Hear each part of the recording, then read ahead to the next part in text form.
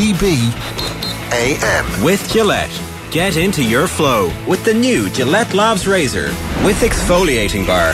Oh yeah, we're dancing into Tuesday like we're a troop of Brazilians celebrating the fourth goal. Is it controversial? I don't. I don't know. Apparently it is. No, it's not. Yeah, we're here to police the tone of everybody, just like Keys and Gray. Mostly Keys, isn't it? Isn't it? Yeah. What, policing tone? Yeah. Richard Keys can't be celebrating that. Policing fun.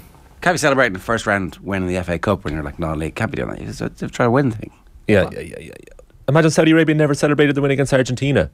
They would have regretted Yeah. that.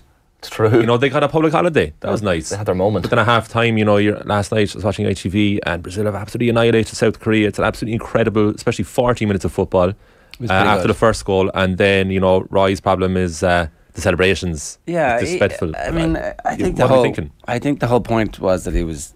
I thought he was being funny, like He was very funny. Well, that's the His thing. comedy line, the Strictly line was great, so. but his overall point.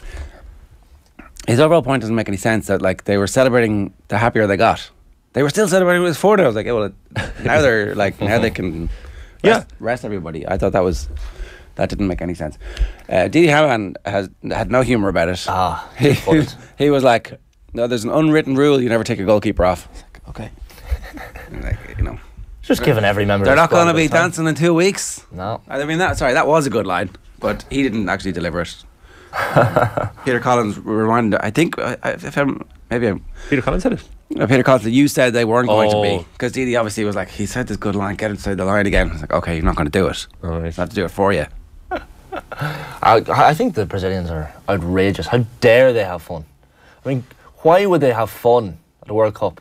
Happens every four years. Like celebrating a goal. Are you serious? Celebrating qualifying for the next round of the World Cup. I mean, get a grip. Grow up, Brazil.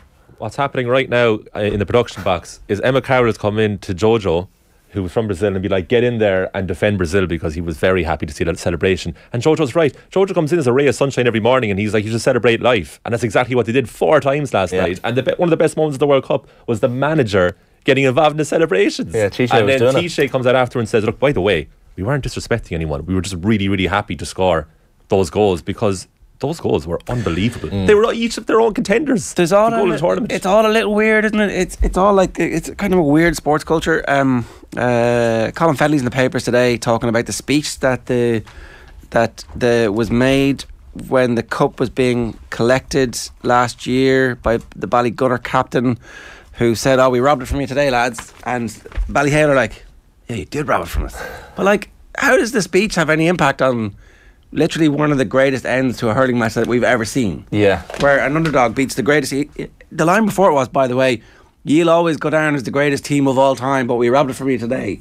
And apparently, that's the same level of disrespect. I'm like, that's the opposite disrespect. That's like, we did everything we could and we still got away with larceny.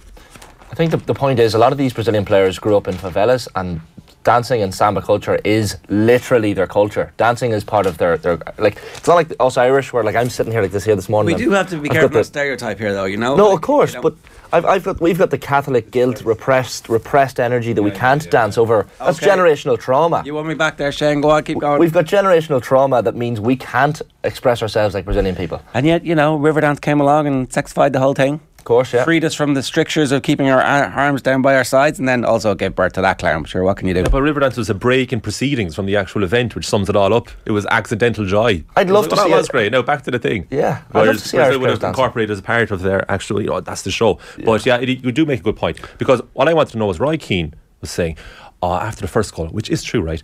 If you're doing that after the first goal, that that could be construed as disrespectful in his mind. And Mm. the fourth goal would be fine. But also, like, what does he want them to do? Is it the old school shaking hands?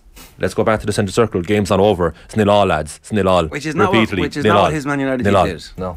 It's not. what- It's not what they did. They celebrated wildly after every And goal. he- they ran the length of the pitch. He's been on camera saying you should celebrate goals. You should do it. In his mind, it was too much. Anyway, I, think- thought it was very joyous. Um, but the goals themselves, Brilliant. That Thiago Silva reverse pass, um, and it took uh, it took commentary a, while to actually identify who the assist was from. Thirty-eight year old centre half Silva. I mean, that's how joyous this Brazilian team is when their oldest defensive player is that good on the ball. And uh, also Richarlison, it was like an Astro goal where he took a touch and could have literally done anything with it. And the South Korea goalkeeper it was like, "This is going to go in, no matter what I do." Oh, the and they just had that momentum. I know you're a big fan of momentum. They just had that momentum on their side that, like, no matter what they did, this is going in. And Paquetá too, who had seen a bit of West Ham, wasn't overly impressed with him. He's oh, decent, but like that finish with the caressed volley, Ah. it's just beautiful. The one thing is, the one thing I would say about Brazil, they haven't really faced anybody yet. And against Croatia, I think they'll beat them fairly comfortably. It's not a great Croatian side, or certainly not as good as they were four years ago when they reached Mm. the World Cup final. So Brazil's first real test could come as late as the semi final. It will, yeah. And they don't want to repeat of what happened in 2014. Well, they're definitely not going to lose. Seven. No. No. No, but Against, against Argentina or Holland or. No, that's the. But I mean, they could. Have they had any sort of adversity so far? Not really, other than Neymar's injury. Uh, but they, their strength of depth is phenomenal. Like they're, it is like it's such a good squad.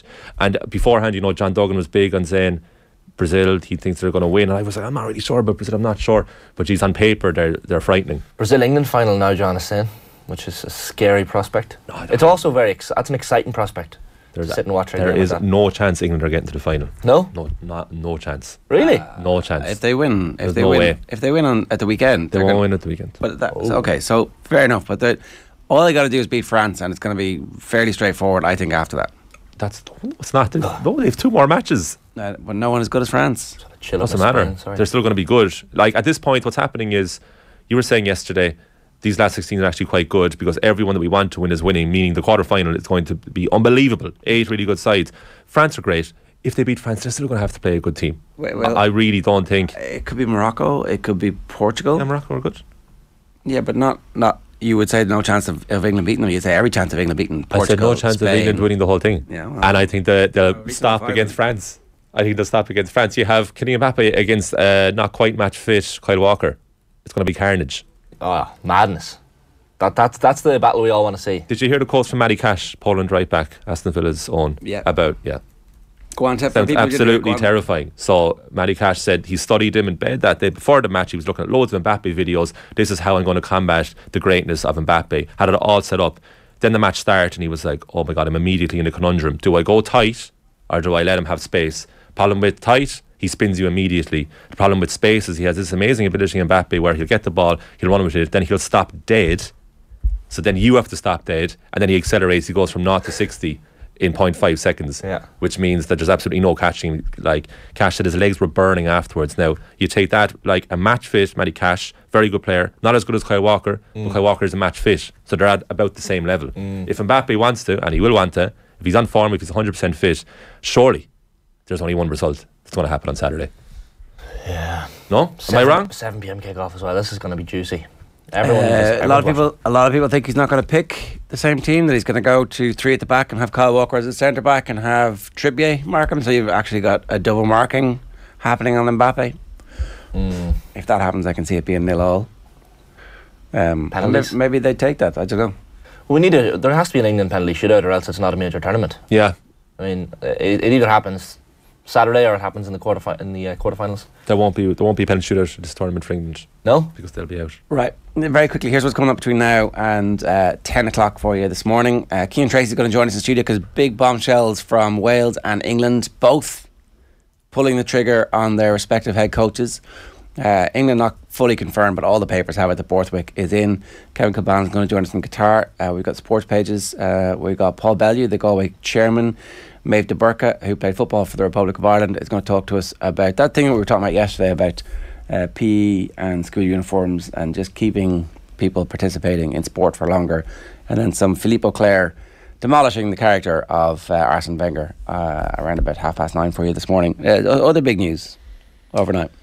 The big news overnight, the Wayne Rooney news. Yeah. Oh, yeah. I was, I was wondering where you're going with that. Yeah, I was, it's very, very entertaining. Wayne Rooney gave an interview to uh, Everton Fan TV. It was really, really a good interview, but it's absolutely unbelievable how insanely honest Wayne Rooney is about everything to do with football, where he just finished up a matter of years ago.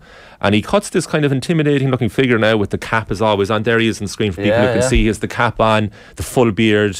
He's built out a bit now since he's stopped playing, but you know it still looks kind of fit in his own right. Like, but you wouldn't mess with him. There's kind of a real kind of uh, intimidatory factor looking at Rooney now, and uh, the words match the look because he was pulling no punches. And there's a great clip doing the rounds, which uh, I think we have now to play. It's about 30 seconds of They're Rooney gonna throw in talking the about place, playing with Everton. I want to be there. Yeah. The next minute, you're the best. it, it it's mad how quick it changed. Did they? Yeah. Yeah. So, it, like for me to go in with with with Duncan, obviously Stubbsy, um, obviously ev- all of them who have, have grew up watching him.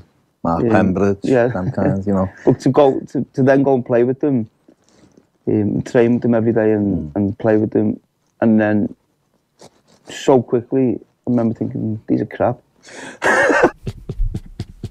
I mean, Did you hear that? So what, what happens next? After that, Yeah. he's just like um, so Rooney is definitely on the verge of naming those players, but the interview decides to go another way. But he's like, no, like really, I couldn't believe the standard of some of them. He was like, there were certain players there who should not have been at that club. he wasn't referring to Ferguson and Stubbsy, the fella. He's, he No, I don't start. think he was there. Well, they're his best buddies, but Duncan Ferguson was a great centre forward, and Yeah, Stubbs is a very good centre half who played with Celtic as well, and did very well for himself. I don't think he was talking about those two, but then I was thinking of players in my head who played at that time, like um, Scot Gemmill, Archie's son, was like a grafter. But I wonder was it him? But probably not. He was a good player. But it's like, geez, they weren't like there wasn't a bad, outright terrible squad. But Rooney, lad, like he had names on the tip of his tongue. All he wanted was an invitation to start naming names. And the interviewer, to his credit, because obviously he wants to maintain relations and he just doesn't want to go that way anyway. That wasn't his style. This interview was kind of, it, it was a very kind of a positive overall interview. He went a different avenue, so Rooney moved on with the conversation alongside him. But he was ready to name names, like. But it was, uh, that clip itself is remarkable because for 29 of the 31 seconds, you're thinking, oh yeah, this is very nice a tribute to when he started off. Because Rooney there is talking about when he was 17 years old. 16. Well, I know at the point when he became 17, when he spent a few months into in the squad. So what he said happened was he broke into the team, Everton fan. This is a dream come true. Scored that famous goal against Arsenal. Had scored against Wrexham in the cup. Before that, they were actually his first two goals for the Yeah. club, which he's at pains to say in the interview.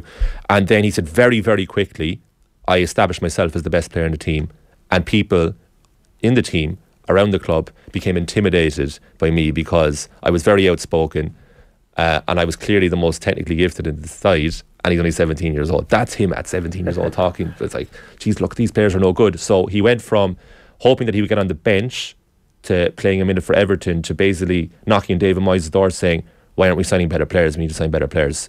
We need to improve. And he also references um, Franny Jeffers controversially moved to Arsenal from Everton Yeah. when he had his glory spell.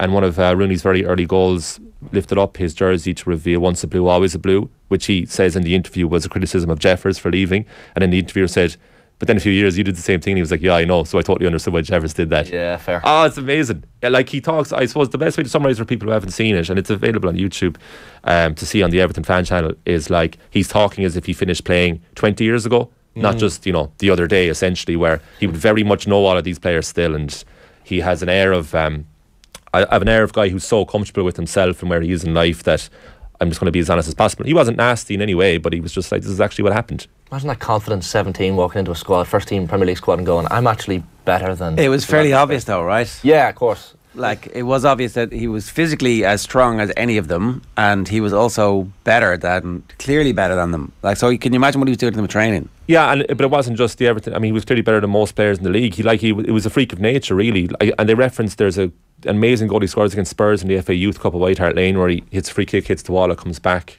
chest volley and puts it into the top corner, Yeah, yeah. yards out, and he was only he was like a teenager, like, and it was unbelievable what he was doing.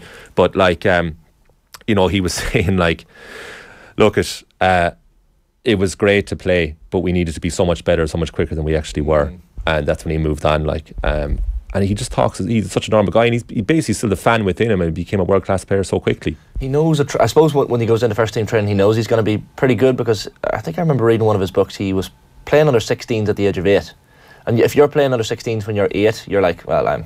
And he was scoring goals, by the way, at eight years old in under 16 matches. So that's, Yeah. that kind of highlights the, the level at which he was at. And I mean, he is, and he wasn't intimidating. Like he looks, he now looks like a bouncer on Camden Street. He's got that look where you're like, this is pretty intimidating. He's got the hat and he's got the, he's wide. I would say small town uh, provincial disco, not even Camden Street. Yeah, it looks like a barman, or no, a doorman in Mullingar. He looks like the uncle of a great footballer. Yeah, he does. And and he's he's still a young man, like. But you know, he was talking when he only realised he was very good at fourteen. He just thought he was a handy player. Then realised, geez, I could actually make it professionally here. Hmm. Um, and then you know, very quickly it you know emerged like I'm. He's just gonna he's just gonna go so far. But he talks about that Arsenal game, the goal as well. After that, he just went home and continued to play football with his buddies and just hung around the park. And he said like it was just so normal to me. And then like in his England debut, they I think they lost to Australia three one uh, at Upton Park. And after that, he went home and played football with his buddies. And he was wearing an All France Adidas tracksuit. And he was like, "This is the clothes I had at the time." And he said like very quickly all those things started changing. Do you remember he got BBC Sports Personality of the Year when he was sixteen? And he was like, he was saying in interviews like that was so weird. Like, why did they give that to me? and he said he never he didn't own a suit at the time, so he had to buy a suit. And Colleen had to buy a dress, and he said they had absolutely no money. Like he wasn't getting paid, so they had to borrow money to buy the suits and dress. And then David Moyes wouldn't allow Colleen to stay over in the hotel because she was underage. That's how young he was. Yeah, so yeah. the time there was controversy the next day that he was disrespectful because the shirt was so tight around his neck that he unbuttoned it. And he just went up and said thanks very much, and the tie was down. He walked away, and he was chewing gum, and he was like, "I wasn't being disrespectful. That's just what I, I was just. That's what I did, and I thought it was mad, the outrage of it." And he said he was never comfortable with any of that commercial stuff, anything at all public facing. He just didn't want to do. And I think with increasing time, like as it passes, and you read his articles in the Sunday Times, he's so tactically nuanced, and he's a fascinating insight into the game. And he, I've become more and more intrigued by Rooney, the person. Yeah, he's a very interesting character. I think he's going to be a really good TV pundit. I think he Mm. might end up being one of those, not a brilliant manager, but um, certainly so far he's been okay. Nearly pulled off an, an incredible feat with Derby. He's very good at Derby, yeah. Um, I think it'd be great to see him on TV every week, though. Appointment viewing. He's like Roy Keane. You, you'll tune it. You'll tune in when. There's definitely an element of that, you know. Yeah. that, like There is, yeah. a career in media would be better for him as well, with less pressure, and you know, But I think that's a good point because I think if you were to say that to to Rooney, like you know, there's less pressure here and you can do this and you can enjoy it and you're really good at media, I don't think that would motivate him. I think he wants to prove a point that he can actually be a really good manager. And the fact he's gone out there and tried, you know, I I, I have a lot of time for him. And uh, when, you know, I don't know about you, Shane, but like uh, when he was at Manchester United, I'd often get frustrated with him because he could be his performances could be so extreme. Like when he had a bad game, he had an awful knack of his first touch would go out the window and he'd just be almost the worst player on the pitch. And then you remember when he, he tried to leave and all that in 2010, and he was like, I wasn't happy with Yeah. where the team was going. And you, there was times you're like, I'm not so sure about Rooney, but you only realise in hindsight how brilliant he was. in and- and hindsight, you all interesting he is. prefer Rooney to Ronaldo. Hindsight, yeah. No, I never said that. But shall I, you be a man now. You're, I don't know Oh, yeah, um, no, where you're going, Ronaldo, after the latest outburst from I Fernando Santos. I, I actually can't talk about him. Like uh, Fernando Santos, uh, it, it, the common denominator now we're, we're understanding and realizing is Cristiano Ronaldo. I mean, welcome to our lives from 15 years ago, lads. Yeah. Like, welcome, What welcome, welcome, welcome. What's it mean? Now you've all the scales have fallen from your eyes about Cristiano. I think there's two versions of Ronaldo. That like the, the 03 to 09 Cristiano Ronaldo Yeah. was a very different type of. He was a bit more humble, cocky still, but a bit more humble in his. He just uh, wasn't as exposed to uh, public facing social media platforms and uh, Piers Morgan at that time. He Yeah, just well- mostly played football. But I would love to go back to the annals of the news talks um, audio and listen to you talk about Cristiano Ronaldo from 03 to 09 because I would imagine you would be appreciative of the guy's genius. Uh, No? roll the clip. I know. Probably should have that. I mean, look, obviously he's a very good player, but like his character never seemed anything other than like so. The incredible work ethic, which separated him from Wayne Rooney, say, is something that should always be remembered. Right? They're the same age, right? Mm. So, like, if Rooney had looked after himself the same way, he could still be doing something at some level in the game on the field, and have this amazing managerial career still to come with like multiple more medals and way more records and maybe a major tournament with England. I don't know. Like, They always get compared, those two, for obvious reasons. Same age, side by side in the same pitch, but it's unfair to compare anyone to Ronaldo in Why? terms, of dedi- in terms of dedication to the game. There is But no, there's nobody we like not talk Ronaldo. about a choose, freak you of choose to be dedicated. You choose to work ch- hard. you choose to be dedicated. To, uh, to, you choose your diet. You choose the, the level of activity and commitment you have. That's not that's not something that is in him like with with no work. He worked at that. That's that's Paul O'Connell's. Let's be world class at the stuff that doesn't take talent. Yeah, Paul O'Connell, and you choose to be dedicated like Roy Keane chose to be dedicated because his fear was, I don't want to go back to Ireland as a failure. But Roy Keane was still able to enjoy himself off the pitch. Ronaldo is like nothing. Like he is so incredibly dedicated to the brand of Cristiano Ronaldo that separates him from everybody else. Patrice Evra talks about going over to Ronaldo's house back in the day when they were United teammates, and he said, "I'm never going back there. It's so boring." Even though I love Ronaldo himself, we went to his house and we sat down and we ate skinless chicken and unflavored broccoli. And then we just sat down and talked about football, and was like, oh, I need an escape from this guy because he's so intense in his preparation. Whereas the vast majority of other footballers are incredibly dedicated to the craft, train very hard, have So very few why can't you vices, compare these together? but they never have never have the extremes. Ronaldo was on his own planet. That's why I always think it's unfair to compare Rooney and Ronaldo. Having said that, Rooney could definitely have helped himself more. Like he even talks about on, it- on his Everton full debut, the morning of, he went to McDonald's for breakfast.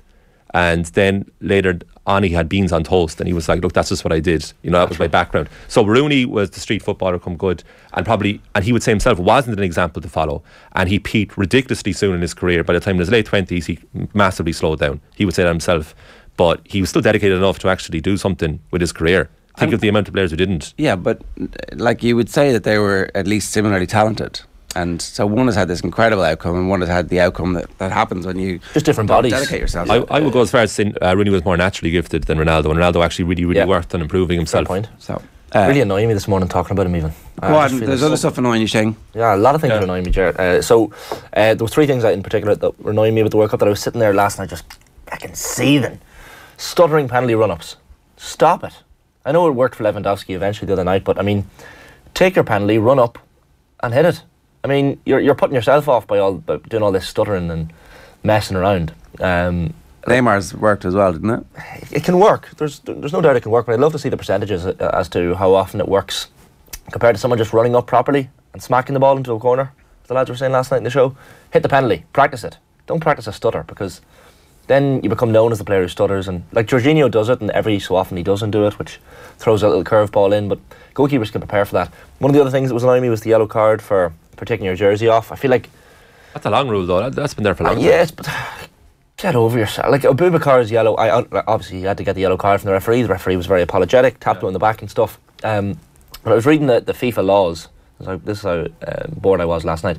FIFA Law 12 Dedication. says it's permissible to demonstrate joy, but that joy must not be excessive. So this is why, why the jersey rule is there. Now it kind of comes into the Brazil stuff as well, and we're saying the Brazilian players should be allowed to celebrate. They should be allowed to take your jersey. Like, wh- wh- who are you harming by taking your jersey off? You should be given a yellow card for celebrating if you run into the crowd or you incite. It's opposition indecent, fans. Shane. It's It's a de- indecent. decent exposure, and also at the time uh, when the rule came in about 20 years ago, there was a lot of political messages on uh, underneath jerseys. So the Rooney one was more football, but there, I remember um, Thierry Henry displayed it as a West Indies, pro West Indies uh, top after. He? Yeah, yeah, yeah. There was something like that for he's friends with Brian Lara or something. Anyway, um, I remember that, and it was the Premier League numbering on its vest as well. So I think they wanted to outlaw any political messages. Because if you lift this shirt up at all, you get uh, penalised for it. Yeah. Your penalty one, though, I disagree with. Disagreed with Mick as well in the news round last night. Just Right. get up and smash it. No, like Don't, this- no, this no, this sma- smash it in hit it hard into a corner. no, I get that. I, I understand the finishing part, but he's like, just go up and hit it. It's like, no, because it's instantly forgettable then. And this goes back to the Brazil celebrations. It's like the whole point of sport in the first place is escapism. So it's like the whole point of a penalty is to score it. It's not to be Oh, remembered. no, but it's, not to be not, remembered. No, like this is the problem. This is the language of a lot of ex uh, professionals. Is like of a certain era. It's like go out there and do your job and win. It's like, but no, you're one of the very, very, very, very lucky few in the history of mankind to actually play football for a living. It was like enjoy it, Mm. please enjoy it, so that we can all enjoy it with you. But if you go down with this attitude of like. You know, you have to prepare, like, because you, you you can't give the ball away and, and don't lose it in the last 10 minutes and put the ball in the corner. It was like, oh, these games are instantly forgettable as Yeah. a result. Like, I have no problem with the shuffle run up. It, The- it adds entertainment. the last thing that was annoying me, we could probably play the B roll with the volume down on this one because I don't want to hear it anymore. It's Box Park Wembley, so £25 for a ticket. Um, now, Box Park website says please refrain from throwing things in the air, especially things made out of plastic, your shoes or your hopes and dreams. They hurt. That's on our website. But uh, so I, I actually took some notes on this last night when I was watching. it. I was like, looks like purgatory on earth. What, what is it, Shane? What is Box Park? Box Park is a place where England fans go to watch the matches. There's one in is it Cro- where- where- Croydon, yeah. Croydon I- as well. went That one, it's very nice. So that, that was Box Park Wembley, where the, the you Minus pay in to, to watch the matches. I can understand going to watch a. a It's just g- a venue, general- is it? Just a venue, essentially, where you, you pay in, you watch the match in a con- controlled environment, uh, as controlled as that looks, where pints are bought just to be held onto to impulsively then throw into the air when a goal is scored. So you buy your pint to drink, and then you buy your pint to to wait just for the cameras, and then back it in the air when, when the goal is. All right. I actually think if if if aliens landed on planet Earth and happened to land at Box Park Wembley during an England match, they would immediately depart, go back to their home planet, and say, "No, there's there's no sign of intelligent life on that planet, so there's there's nothing there." Um, So- sorry, sorry. Hang on a second now. If Roy Keane criticizing, No, no, no, different, hang on, No, no, no, no. Just let me let me finish. If, if Roy Keane criticizing Brazil for dancing is stomping on their culture and borderline racist, you giving out about English fans throwing beer in the air and No. being kind of loud and obnoxious, that's their culture, Shane. You got to let them be who they are. it's not their culture. It's not their culture. I mean, this is this is where Drinking shitty warm pints in a Wetherspoons, that's their culture. it's where the Canary Wharf business suits meet the Brexiteer colonialists for their for their beers and their throwing. It's the it's the forced celebration. The Brazilian stuff is natural to them. When someone tells you who they are, Shane, you got to believe them. to, to defend my client there, um, possibly the reason uh, Shane has outlined this problem is when you're throwing your beer nonchalantly up in the air in wild celebration, you could be affecting another human being negatively. could. Whereas the Brazil celebrations is all good nature. They're not hurting anybody else. to me, to me, box difference- park. that could be a difference that See, we, we, what we just watched there makes George Orwell's 1984 look like Teletubbies world. I would prefer to be in George Orwell's And novels. you can't switch it off. No, you can't. But that's dystopian. That was a dystopian. Like that video. That's why I didn't want to listen to it anymore. It's dystopian. It's um. Now your Alexa listens to you on purpose. It does. It's purgatory. Right, 7.56 this morning, OTB here, and brought to you live each morning with Gillette Labs for an effortless finish your day. Up next, Cian Tracey is going to join us in studio to talk about the Eddie Jones news and Warren Gatland. First, the lads in the news round obviously talking about the fad of unusual penalty run-ups at the World Cup. And Japan missed the first penalty, missed the second penalty, and it became pretty inevitable after that. The penalties were poor as well. Yeah. Did you like Lewandowski's penalty? Uh, I didn't the first time, but I liked the fact he backed himself to do the same thing the second time. it's funny. It Rory, made it kind of cool. Rory O'Connor was in earlier, and he was saying it wasn't for him. He thought it was just had a bit too much going on. Just Yeah. take the penalty, kind of. Yeah, but then the fact he did it and it came off the second time was cool. But Yeah. it's such a fad at the moment, and we're seeing so many like Yeah. really crappy penalties being missed. I'm sorry, but do what the first guy for Croatia did and just come down and just whack it Whack into the it. corner. Hmm. Yeah, like I don't know. I just can professional footballers who are this good not trust themselves to kick the ball hard and into the corner. Yeah, of- I take the point. I th- it must be harder to do the the, the dance the as you're trying to kick, waiting for the keeper to go, and a lot of them aren't good enough to do it. I definitely think if you're in a, it's a standard Premier League game and you're Jorginho and you're good at it and you're not overly nervous. I kind of think I, I understand the logic of well, if you wait for the keeper to go, then you're guaranteed to score Yeah, by but why do rolling the it in. keepers go? But well, it's hard not to. You know, it It's must be hard Jorginho not who to. does the same thing every time. Why? Though every, one in ten times he'll just hit it normally, and then you're like, oh, I was waiting for him to go. But I think if you're under a lot of pressure, it's a harder skill to execute. A World Cup final, I would think. Listen, Definitely. Gotta be feeling The whole world is on your face as we wait for VAR, as we wait for complaining, as and the whole thing takes about five, ten minutes Yeah. in a shootout. The first, the Japanese, the first penalty taker, number 10 for Japan, was up there for three minutes before he got the got to kick the penalty with the Yeah. referee arsing around. Like, you know what I mean? Yeah. He knew he was going to miss straight away. Like, there's too much going on in it, perhaps, if you're super nervous. But um, yeah, I- I guess it's it's uh, fun at the moment for sure. Uh, Cian Tracey, the Irish Independent, is with us to talk to us about the uh, ongoing situation in rugby in England and in Wales. Cian, good morning to you. Morning, lads. How are you? Um, I, did Wales want to get their stuff out first? Did they want to get their claws And Warren Gatland wasn't really a runner for England, was he? Looks like the C. Borthwick thing. Yeah, I think so. Yeah, even making- even the Ronan O'Gara stuff, I think, was all a bit of shadow boxing. Ronan O'Gara probably didn't do too badly out of it when you think that he's getting a, a nice new contract in La Rochelle now as well. But yeah, I think the succession planning. Obviously, England weren't. We're hoping that it didn't come now. It was after the World Cup. I think Borthwick has long been identified as the man. So probably no great surprise if it happens today or tomorrow when Eddie gets the chop. Why are they not giving the job to Scott Robertson? What is wrong with these people? Yeah, I, I still think Scott Robertson, if if truth be told, is waiting for the All Blacks job. Um, now that could be complicated by the fact that Joe Schmidt has come into the the All Black setup because when he was doing so well with Ireland, he was being touted as you know a possible next man. And New Zealand and the All Blacks generally want their their coaches to be involved in the system, and that was one of the flies in the ointment for Joe Schmidt because he was over here. So since he went back and obviously working with the Blues, and now he's obviously very much involved with the the All Blacks. So he's a potential future candidate as well. But I did notice in Warren Gatland's press conference yesterday, he gave a ringing endorsement of um, of Scott Robertson as well. So I think Gatland probably knew that he wasn't going to get that All Blacks job either. Even since he went back to the Chiefs, it hasn't been going that great for him. So, um, yeah, it's a, it's a merry-go-round, really, isn't it? It's a bit like I imagine what covering football is like in, in the Premier League when managers are getting sacked because you just don't really see it in rugby that often at all. So maybe it's a bit of a sea change for for the game as a whole, you know. I guess Borthwick has been involved with England as well before, before the 2019 World Cup as forwards coach. So, like, what does he bring to it?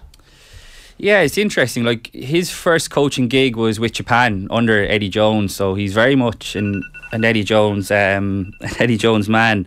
Um, so yeah, like Leicester won the league, the Premier, the Premiership last season under him, and there was no doubt they played well. But I was covering the Champions Cup quarter final when Leinster went over to Welford Road and did an absolute number on them, and I thought like it was just very uninspiring. Um, they don't play attractive rugby whatsoever. I mean, you, you know what you're going to get with a Steve Borthwick team. So, what do England and the England supporters want? I mean, they got booed off against South Africa, and the attacking the attacking game plan has been really poor under Eddie Jones for the last couple of years, and that seems to be what's been you know the the straw that broke the camel's back. So.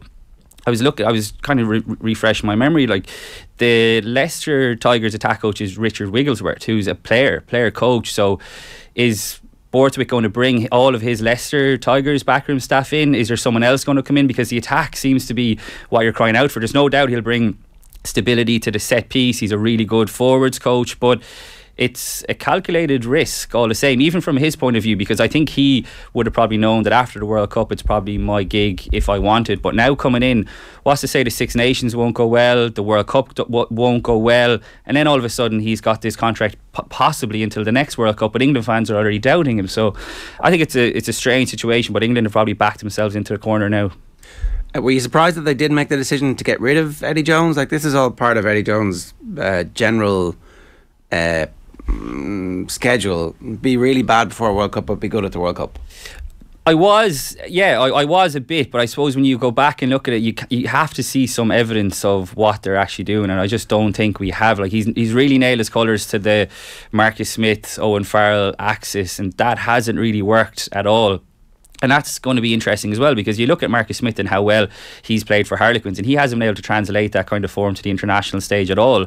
And if you go back to Borthwick, they left Leicester left George Ford go at the end of last season, and they got in Andre Pollard, who hasn't played really played yet because he's got um, an injury. But Andre Pollard isn't the type of out half either who's going to you know set your game alight. So what does that mean for someone like Marcus Smith, the golden boy of, of English rugby? You know, they're still kind of holding out hope that Tuilagi, you know, is the player he was several, several years ago. And even when he's fit, he's looked a shadow of uh, the player he is. So Eddie Jones has kind of pinned his hopes on a couple of players, and then everyone else around him seems to have constantly been coming in and out of the team because in the middle of it all, I think they've lost their identity. I think you'd be you'd be struggling to pick England's best 15, I think, at the moment because they just have been no consistency in selection at all. So, um, from that point of view, maybe I'm not surprised. But yeah, you're right, Jared. Like, if Eddie Jones does one thing and one thing well, it is get teams right for the World Cup. We saw it in 2019. Obviously, they came unstuck in the final, but you think back to that semi final performance and sensational. It was incredible. It was one yeah. of the great, great performances, um, definitely of recent years. So,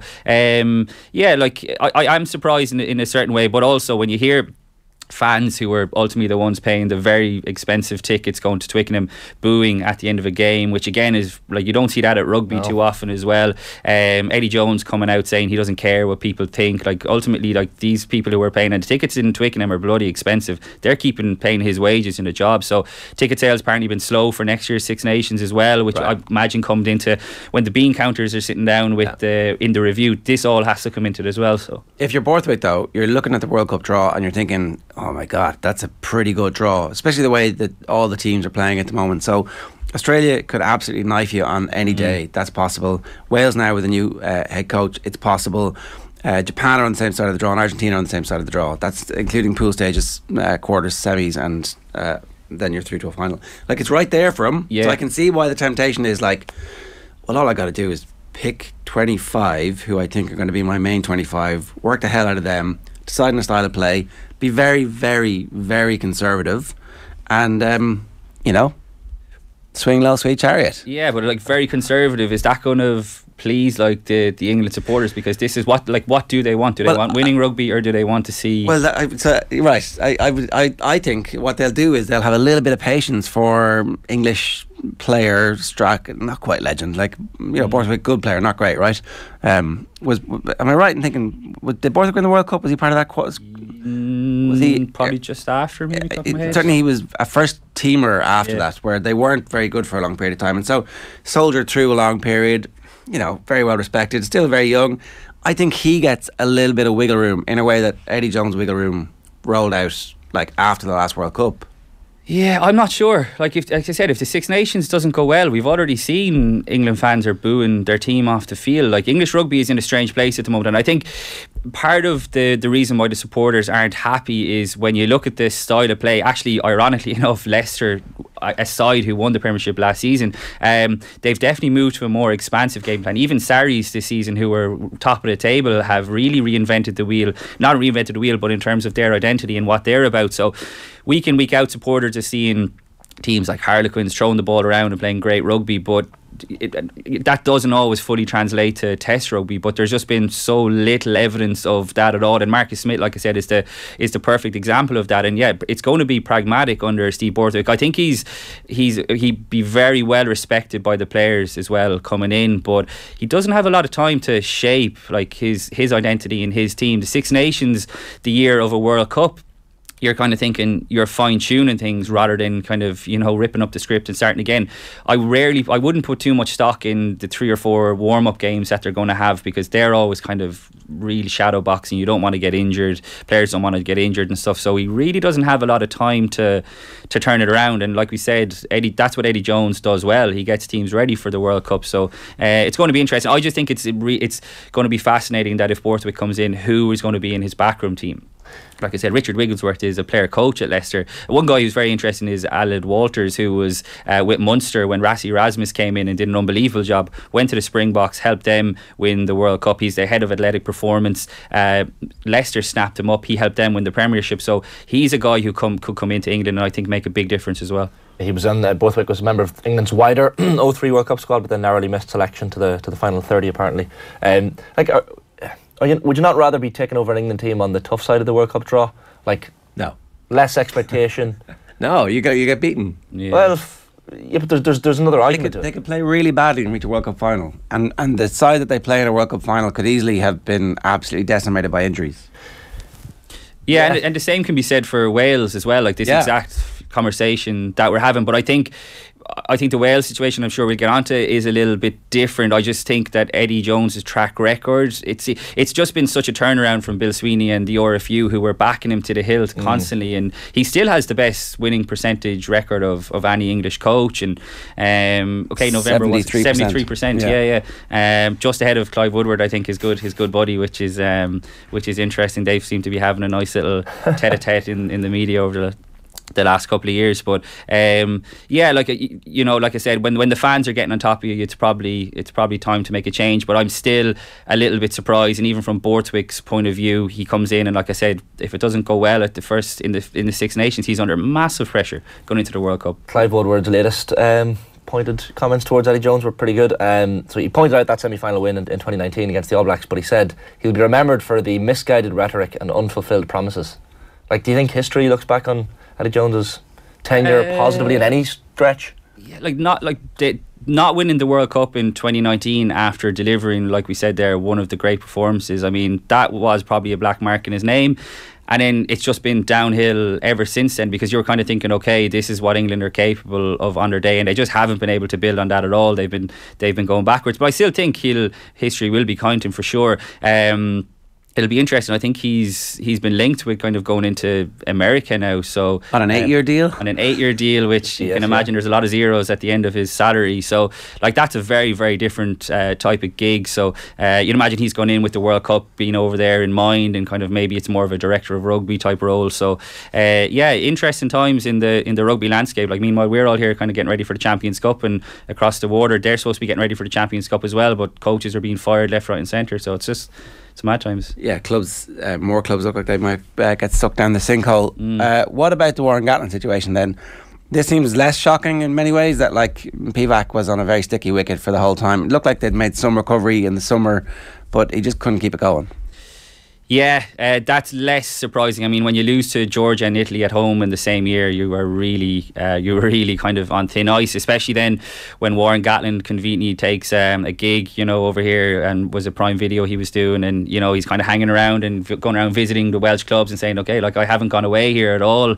And like I said, I think a lot of that was down to the fact that he realised when he went back to New Zealand that the All Blacks job just just wasn't going to happen. Chiefs Chiefs thing hasn't gone all that well for him, so it's funny like reading the coverage over the last few days and on Twitter and stuff. People seem to have forgotten that kind of at the tail end of Gatland's era that he got a lot of criticism for the style of play, you know, Warren ball and we think back to the Lions like how dour that was and yeah, I don't know. I think it's kind of selective memory almost. Um, Warren Gatland's going to come in I think the big question is is he going to move with the times? Because uh, the, the game has moved on and we saw that in South Africa on the Lions tour. Even South Africa themselves in, in November have shown signs of playing a little bit more little bit more width and stuff. So um, yeah like is he going to change or is he going to come in and expect to play the exact same style of play with a squad who was not as good at all as the squad that he had. Because like, he was working with a golden generation yeah. when he was having all that success with Wales which often kind of gets papered over a little bit. Like he doesn't have that caliber of players to to call upon now. So um there are a couple of good young players. Like I mean, a guy like Louis Rees-Zammit has almost fallen off, become the forgotten man because yeah. again, Wales just haven't been getting the good, the, the best out of him. So it's interesting. Like Pivac did a really good job at the Scarlets. He's the only kind of Welsh coach to ha- or well coach of the Welsh region to have won a bit of silverware of the last a good while.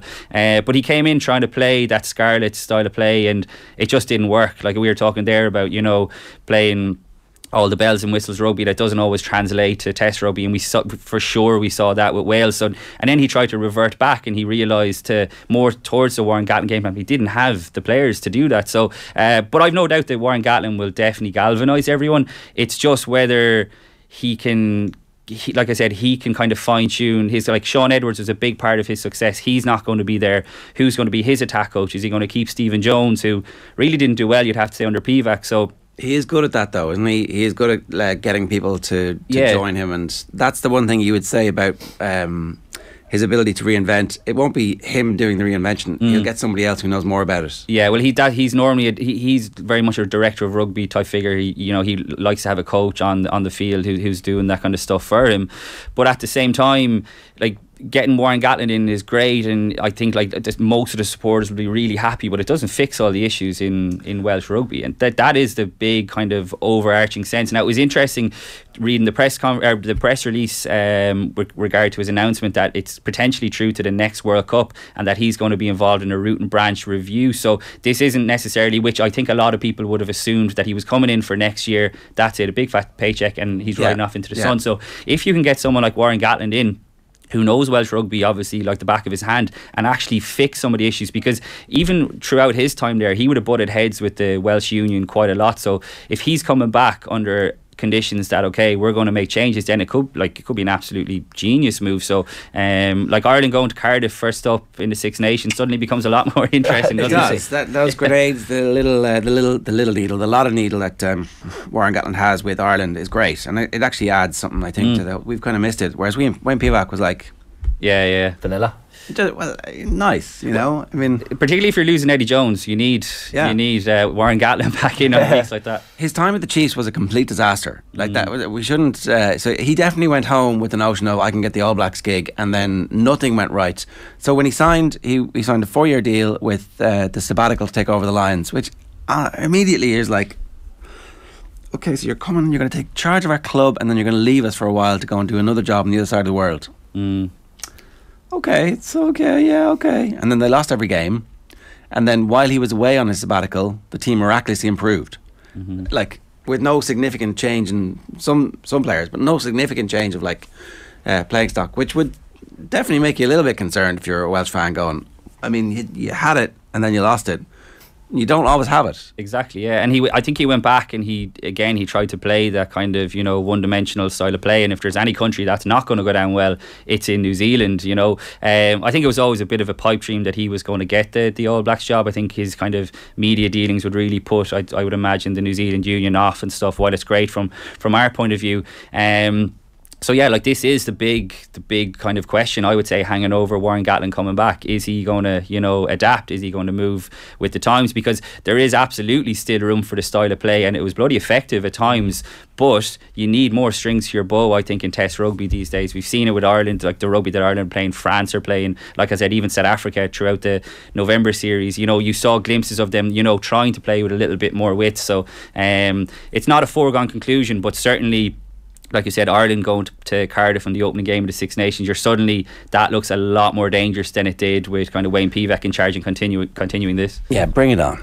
That's what we say. You're, you're delighted for. Is he the risk-free option? Like it, it almost has a feel of Alex Ferguson returning to Man United at some point after he leaves. Like yeah. It, so there there has to be risk associated with it never go back to your ex, Shane, isn't that what they say? So, uh, yeah, Ronaldo, like, we're talking about Ronaldo this morning. yeah, yeah th- there is risk, but like, I think the big risk is that you come in and you expect Warren Gatland to just copy and paste what has worked before, which I don't think will work. But I think, yeah, he's a smart appointment, and like I said, if he's going to come in and do the root and branch review as well, then I think it could be a really, really smart appointment. All right, Cian, good stuff. Thanks a million for that. Cheers, lads. You can read more from Cian Tracey on the Irish Independent. It is 15 minutes past eight this morning. OTBAM is brought to you live each morning by Gillette Labs for an effortless finish to your day. It's competition time.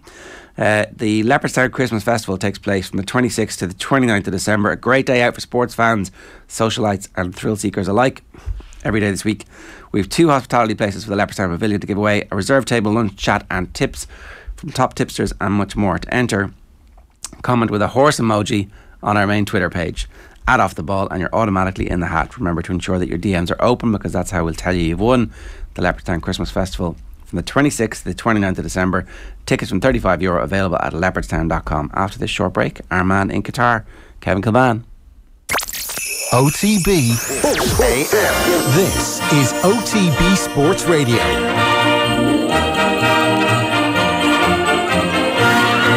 Well, that is one of the things I noticed. I was like, there wasn't even a sneaky Katie McCabe in there. The COYGIG Pod on OTB Sports. They're incredible. I mean, I'm just not usually in awe of teams that much, but I just can't help being awe of Barca Feminine. Like, they're just incredible.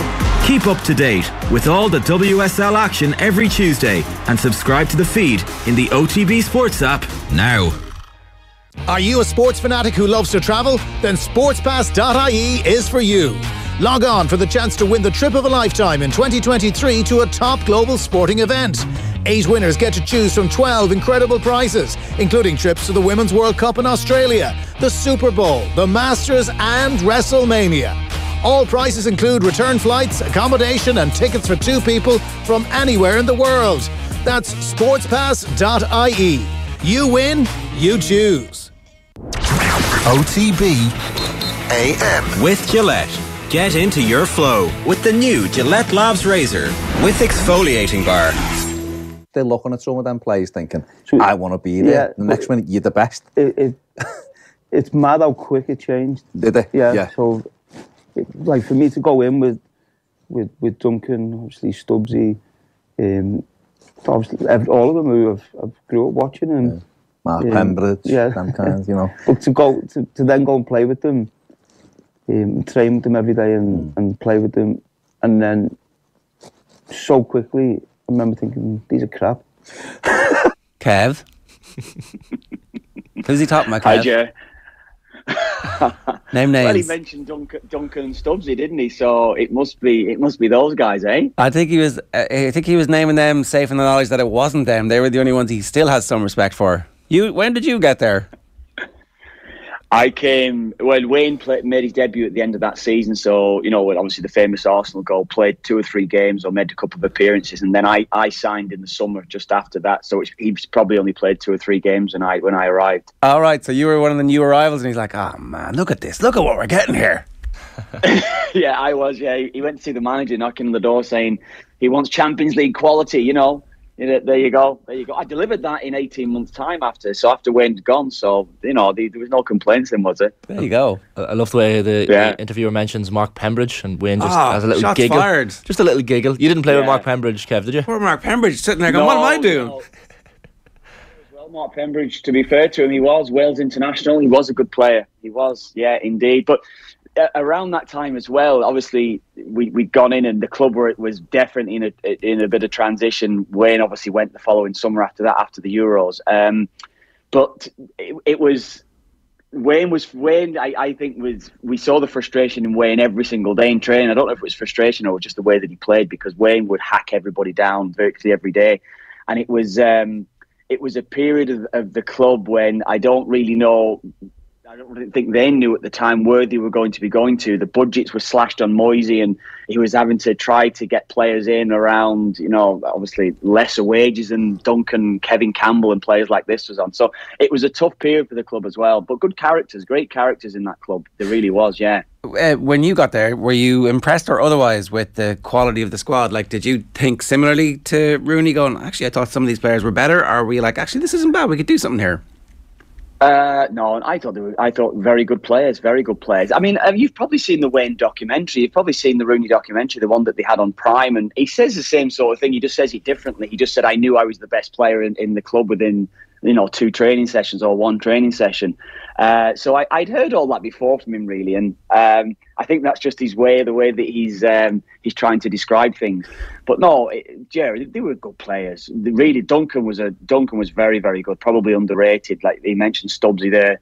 Uh, David Weir, Steve Watson, Tommy Gravesen. Tommy Gravesen was oh, yeah. top class. Went to went to Real Madrid. So uh, no, we had we had really good players. It's just that Wayne was was better than all those good players, you know. Yeah, he he was genuinely proper Champions League world class quality. Uh, so how long did he stay? I actually don't know. How many years did you play with him? Uh, I had one full season. Yeah, the one full season with him. And then he was gone after that straight away. So they didn't even like yeah. hang on to him. Nowadays, you'd like to think that they'd be able to hang on to him for three seasons and get to the fringes of Champions League football, use his goals to make some extra money, and um, and maybe keep him. Yeah, yeah, that, that's what that's what you, would like to think does happen. But he was that good, Jay. That was the thing. Uh, even you know at 16, 17, when he was when he was in the side there, he he was honestly that good. And you you were watching him in training every day, and you were seeing the power that he had and how he could, you know, we, we had Joseph Yobo, um, Nigerian international, who was probably the, the quickest player that I would have played alongside. So strong, so quick. Wayne was not quite as quick, but nearly as quick as him, but so much stronger than him. He could just outpower him. And Joseph had probably played his whole career where he'd been the strongest player, maybe coming through his youth teams and things like that, the quickest player. And all of a sudden, he's got this kid who can just out out muscle him, who can just you know brush him aside of the ball, and then he's nearly as quick as him. So if, if he gives Wayne an extra yard like he used to do with certain players, he'd always be able to catch up, whereas he wouldn't catch Wayne because Wayne would get away and finish. So, you know, which which whatever you brought to to, to whatever you, your skill set was within any squad, and probably Man United would have seen it as well to an extent. Wayne was better. Wayne had a different. Wayne had better skill set and better strength, better pace than virtually every player he come up against. So that was the difference that, that he had. Did he ever hack you in training, Kev Rooney? Oh yeah, once or twice. Yeah, yeah, he did. He was he, he, honestly, he he trained like he used to play, and every single day. Uh, and I mean, I think we've had these uh, conversations when I've been on with you guys before. I used to um, I used to live in between Liverpool and Manchester, so I'd drive over to, to Liverpool, and I'd probably get in at maybe eight, eight fifteen, eight thirty every morning. And Wayne was invariably always on the training ground. I, I, think he got out on the training ground at 7.30, 7.45, whatever it was, and he was practicing. He had an, an unbelievable desire I, I, don't think it was a desire to get better. It wasn't necessarily, I don't think he had the mindset of, look, I'm, you know, I'm, I'm working on a technical aspect of my game to become better at a certain thing.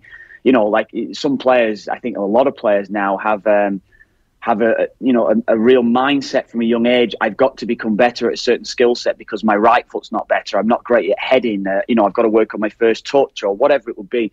Wayne just had this this kid in him that just wanted to play football every single day and you'd see him out, you know, volleying balls. Lads go out to training every day, and you know we have obviously the um, the prehab and type of, of um, you'd be doing your prehab before training, make sure that everything's right. You, you're working on your stretching, you're working on anything.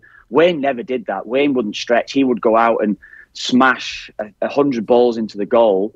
And everything that every sort of uh, sports scientist, every sort of fitness coach is telling you not to do, Wayne would do it he just had an unbelievable desire just to play football. That was how he was. That's kind of the anger stuff that he talks about coming out, I think, is it smashing the ball again and again and again, even though you know at some level this might not be the best thing for you, you're still going to do it.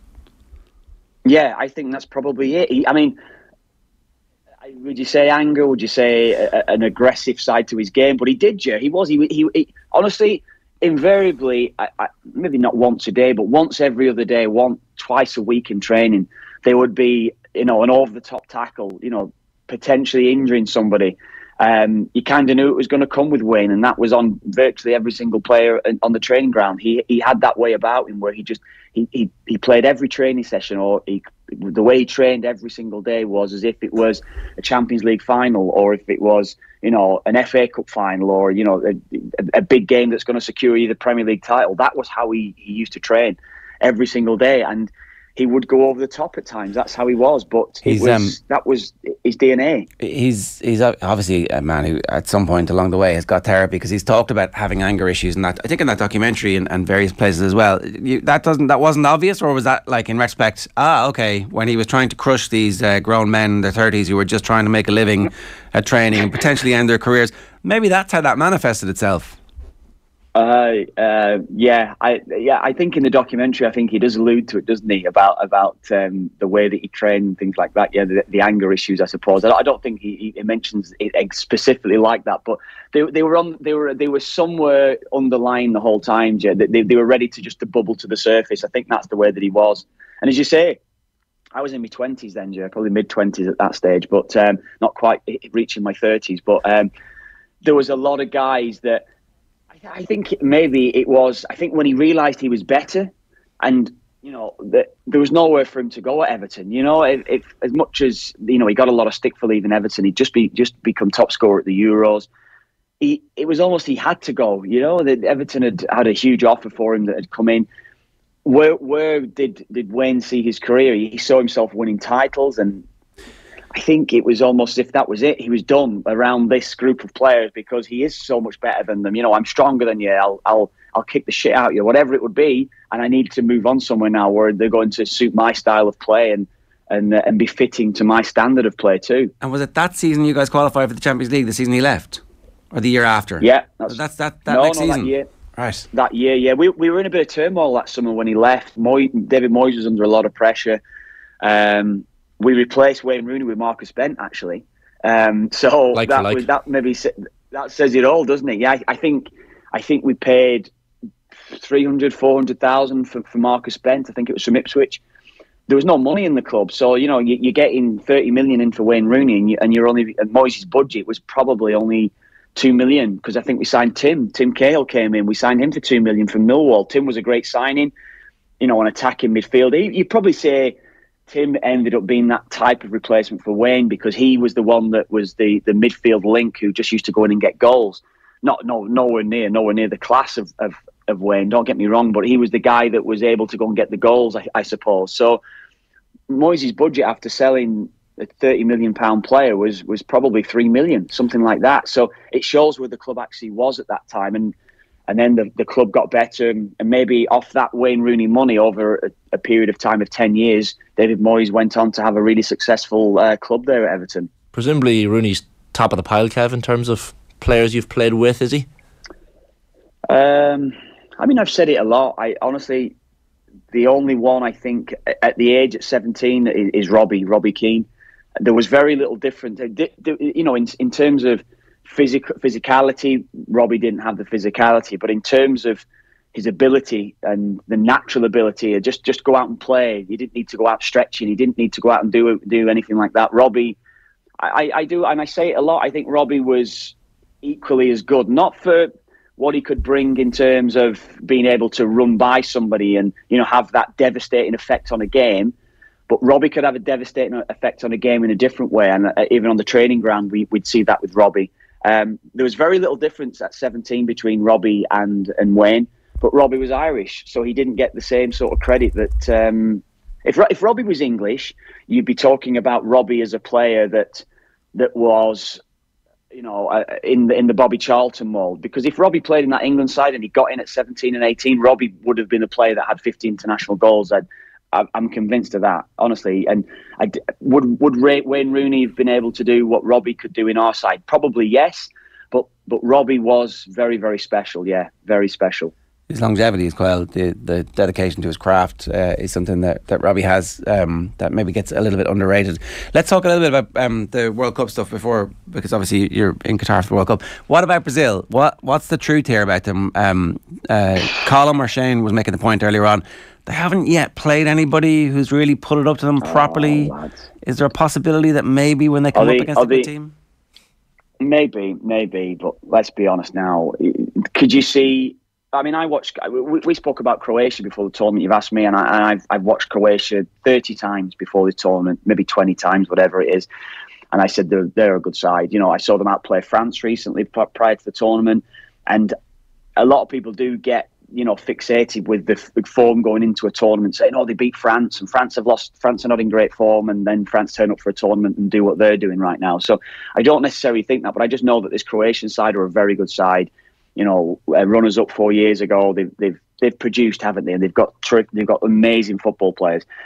And then I watched them yesterday in that Japan game, and I'm like, oh, look, Japan are not a great side. They can't raise the game. So if you're using that analogy of not coming up against great sides, I, I don't, I don't have it. You have to, you have to do the business. And you know, South Korea had an unbelievable game plan to how they're going to stop them. They played against, they played against Switzerland in this World Cup. They played against Serbia again, who are another very, very good side. You can't get away from that. And I know Cameroon beat them, but they had ten changes or whatever it was. So you're not going to really judge them on that um, Cameroon performance. And South Korea had a game plan. They set up with a way to go and try and beat them, and they, they had a, you know tactically they've they've done well to get out of the group. They're not a great side, and I and I know that, but um, last night was was special watching them. It was so so special to see the the movement on them, the setup on them, and we get away from the fact is that how unbelievably hard working this team are. They, they, they work so hard, and they're different from many Brazil sides because Brazil in the past would have just got the, the, the great Brazil sides, Joe, that we would have seen in, you know, 86 and 90 and that didn't quite make it. And then the br- brilliant Brazil sides of 02. In our lifetime, Joe, we, we, we maybe remember 86, we maybe remember 90. Do you remember Brazil really taking apart a side like they did last night against South Korea in that 36 minutes, really taking them apart and going to just blitz them and score the four goals, game over? I don't remember a Brazil side doing that. And every side now, the way that they're set up tactically, are way better than they were in 86 and 90 and, and even 02. And, and they were special teams, don't get me wrong, they're special sides. So I, I don't take the, that analogy, no, that they've not played a great side yet. I, I, I- think sides that have better players will be and physically will be able to deal with the physical side of it. But look how they set up tactically. They, they start in a 4 3 3, Neymar as an 8, with um, with Paquetá, uh, Paquetá as an 8. And then they switch when they have the ball. Alisson gets the ball, they switch the system. So they go to three at the back. Danilo goes into midfield alongside Casemiro. So they make a three, it's, it's 3 2 um, two three. I think I, if if I've got my numbers in my head right, it's it's unbelievable the change of system. So so Raphinha goes high wide to the right, Vinicius Junior goes high wide to the left. Neymar becomes a striker. He goes right through the middle up alongside Richarlison. And then the movement in midfield is incredible. So tactically, to stop them actually playing out is so hard. And then when they lose the ball, they've got bodies forward that they're able to go and press the ball quickly, but they always have four players back. I talked on it with, with Joe when I was on him last week. So they can't. They're so hard to be counted on. So if you look at a side and they go, yeah, you can get at Brazil. They're sending bodies forward. Watch them. I- don't know if you get it maybe with the RTÉ footage there that, that you're watching when if the lads are doing a lot of their analysis on the tactical cam, but it's great to do your analysis on how the setup goes. And you can actually see within within that that they cannot be counted on. So Korea are, are all over the place trying to figure out how to how to stop them when they're in possession. Yet they win the ball, and they turn and they, they're swarmed upon straight away. So Brazil are winning the ball back quickly, and it's for the back four or the four players that sat in in uh, in, in defensive position. They don't have to do much running, so that they they're conserving energy for if they're able to be countered beyond, and and there's a bit of a there's a bit of a breakaway. So. Honestly, I mean, look at the goal that Korea scored. It had to be a worldie to, to beat Alisson, who made two, two or three actually decent saves that were long shots. So, I don't know. I, I think this side are the real deal in every way. Honestly, the real deal. They've got the they've got the flamboyance, they've got the creativity, yet they've got the, that real bit of solidity to the team as well. when you're speaking of uh, of Everton, the Brazilian third choice, Weverton came off the bench last night as well, and like Yeah. Didi Hamann had his comments on television afterwards, given out about the use of a, a third choice keeper in a, in a match like that is disrespectful, and the dancing was disrespectful as well. I think Roy Keane echoed that. Don't know what your take on that Yeah. is. You have to again. I go back to I, I always remember Brazilian sides as a kid. I remember the dancing after scoring a goal and having fun. You know, when when are we going? Are we going to always say that that that this game is totally? I mean, I, I- wouldn't have been able to do what those Brazilian players do. So if I was playing for South Korea, I'd be pissed and I'd be saying, you know, I, I don't, I, I'd be I'd be wanting to go on and kick them. I was surprised I didn't get a reaction from South Korea that they didn't go around. Maybe that's you know in the, in their nature a little bit. Those players that, that you know that they don't want to go around disrespecting opposition. But I would have been hacking them down as, as much as I could. Probably would have been of the mindset. And as Irish lads as well, we probably would have had a couple of red cards in that game. But you, you can't take away as a spectacle watching it. We want to enjoy watching football. We want to see players playing with smiles on their faces. Look at the African side in this tournament doing warm ups and enjoying themselves. Uh, I don't know. I, I, I've always, as I said, I've always watched Brazil sides having this enjoyment. It's a spectacle when they score a goal. They they appreciate what it means to actually score a goal at a World Cup final, and they want to enjoy it. So, I don't think bringing a third choice goalkeeper on is is, is disrespectful because everybody wants to play the World Cup, and and Tite, the coach, has recognised that and give them give them a game. And even I, I mean, I, I even saw that Tite getting involved in celebrations was disrespectful. It wasn't. The players are the players are playing for him, and you know he, he looked embarrassed doing it, didn't he? He was embarrassed, but he would just wanted to have a bit of crack with the lads, and that's all he was doing. So. Yeah, it was a bit like that, wasn't it? And and the lad will be laughing about that now, and they move on to the next game, and, and it's high spirits, ready for, um, ready for who they play now as well. I just forgot now. Croatia. Croatia, and let's be honest, saying talking about Croatia, I, I think they're going to destroy Croatia because they don't have the energy in the side. A few aging legs that's in their team. They, they struggled against Japan badly, so I, I'd like to see them continue to enjoy themselves. Why not? I'm convinced it's a generational trauma and Catholic guilt that means Irish players never celebrated in that style. Kev, were you ever tempted to just let loose and throw out a wee dance? I always we, well, it's because we can't dance. I think probably if you look at us as we're, we're, we're stiff men, aren't we? we you know, we we struggle to actually, as you say, we have the dad dance. Okay, we celebrated our goals well enough. It might have been the celebration after the game had finished, and I think that's how we like to do it. You know, Shane. Of course. Yeah, yeah. There's no point going furiously dancing. Good, good songs. Yeah, good songs. Good songs. Doesn't matter. I, yeah, Oh, I've seen Kev yeah, dance, of course. Not bad. Um, Kev, you're a fan of Morocco. Uh, tonight's your night.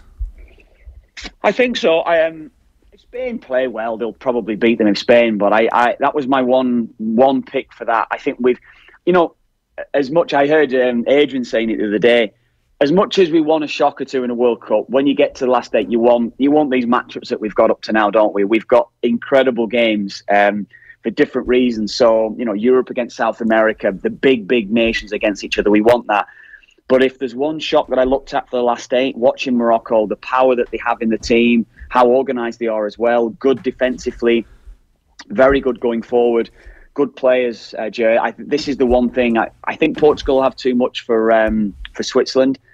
Uh, although I, again, I, I, I think Switzerland as well. They, they continue to surprise us. They continue to get results. So that wouldn't that it wouldn't be a huge surprise. But I think Portugal will win. And but this is the one I, I think uh, Morocco beat beat Spain. Yes.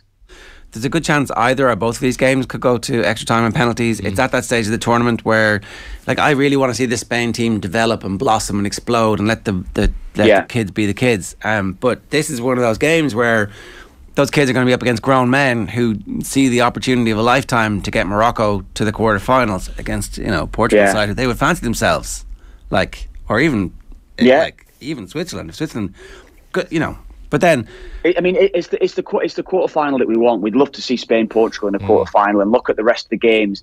I, I think no matter what anyone says, we want the romance of, of shocks, and we want these lesser teams to, to go through. But imagine that Spain Portugal quarter final. That would be just an incredible game. Clash of styles a little bit as well. It'd just be such a great watch. But I don't know. We'll see. If if, if all goes to plan, Spain turn up and Gavi and Pedri produce what they what they can produce, and Morata continues to score the goals, and they they, they they're able to hold off defensively.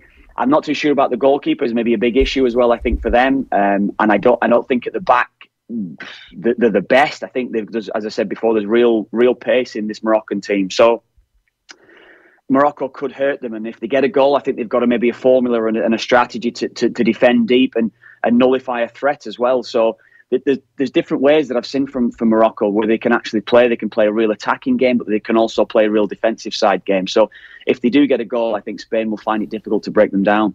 All right. Kev, great stuff as ever. Thanks a million.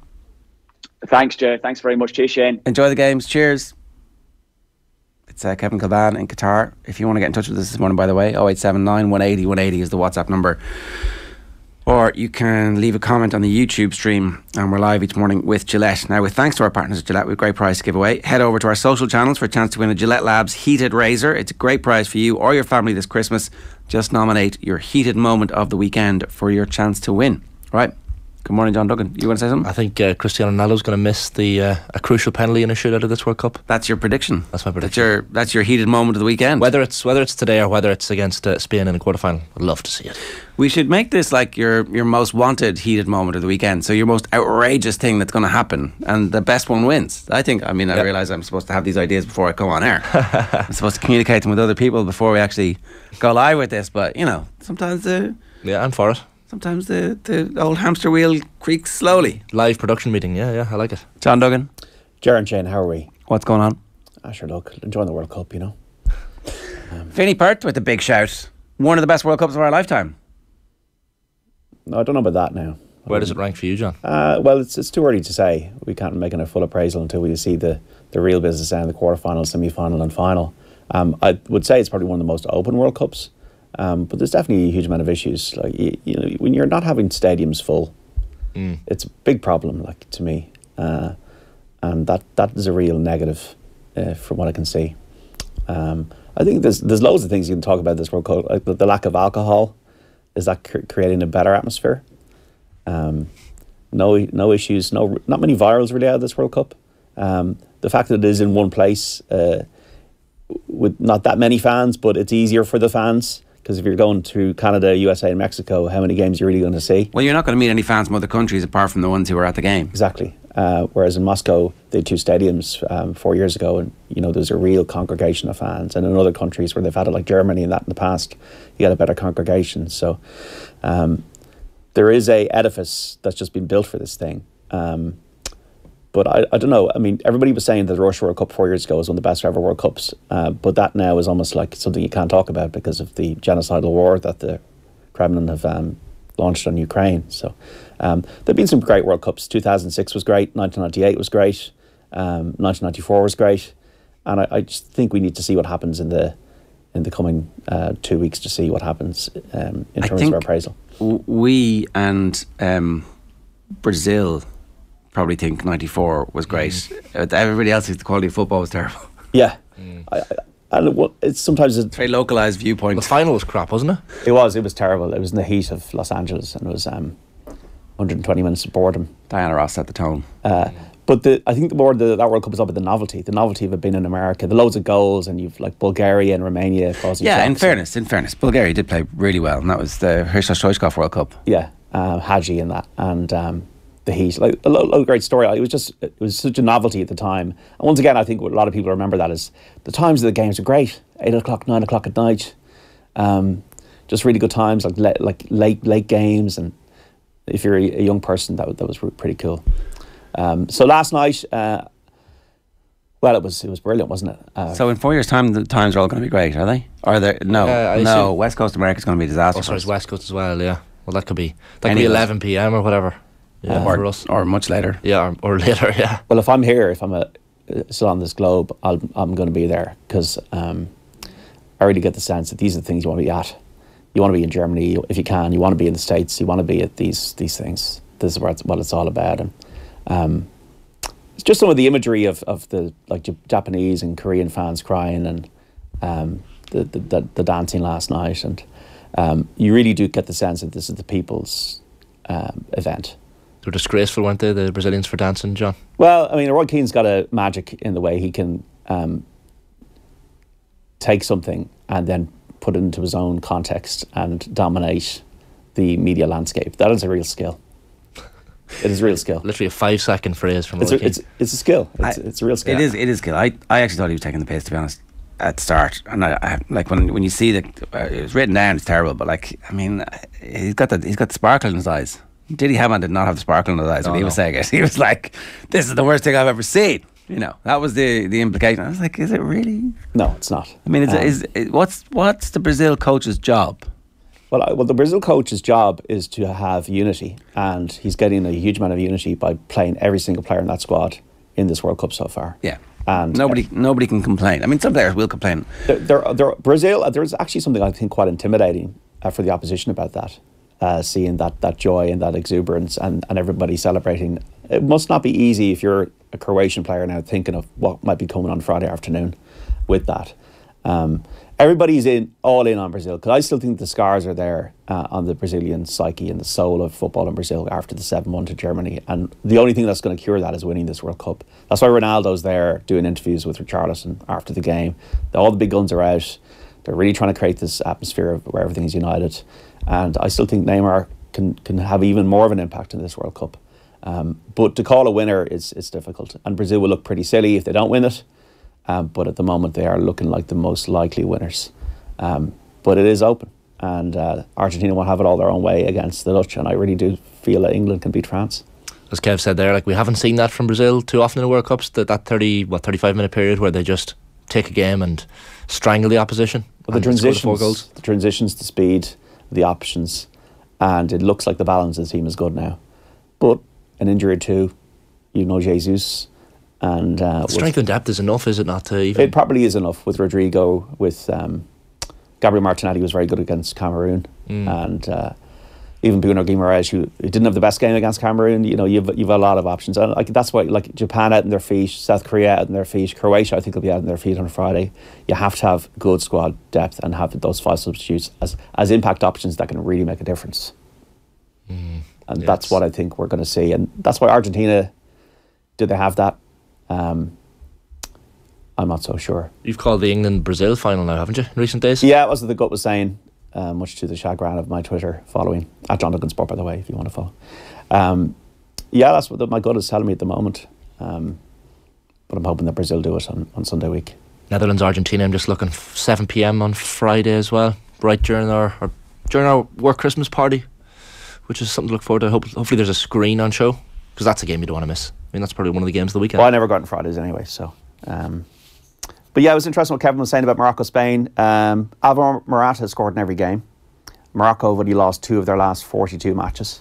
Um, that'll be a fascinating battle of tactical styles. And then Portugal, Switzerland, I feel is going to go all the way. Um, I don't know how positive Ronaldo's impact is in the Portuguese setup. Well, they're finally starting to turn on him. It's very, it's a very telling moment when the untouchable icon suddenly is getting criticised by the manager. That's, that, I thought that was very telling. in public, and we saw with Brazil, uh, sorry, Germany and Belgium, that if the camp isn't fully uh, happy, it, it does have a, a negative impact. The Danes were just completely listless at this World Cup, and I don't know if Portugal are going to be able to maximise their potential until Ronaldo's gone. We haven't hardly seen Rafael Leão, for example.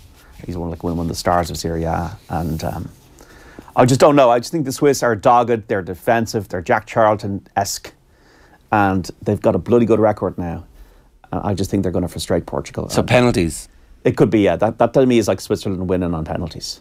Do you know when you see Ronaldo gesticulating and coaching from behind Fernando Santos's back across the years? Like eh, he seems to have done it quite often. He, when he substituted, he, he becomes a coach. That gives me the ick.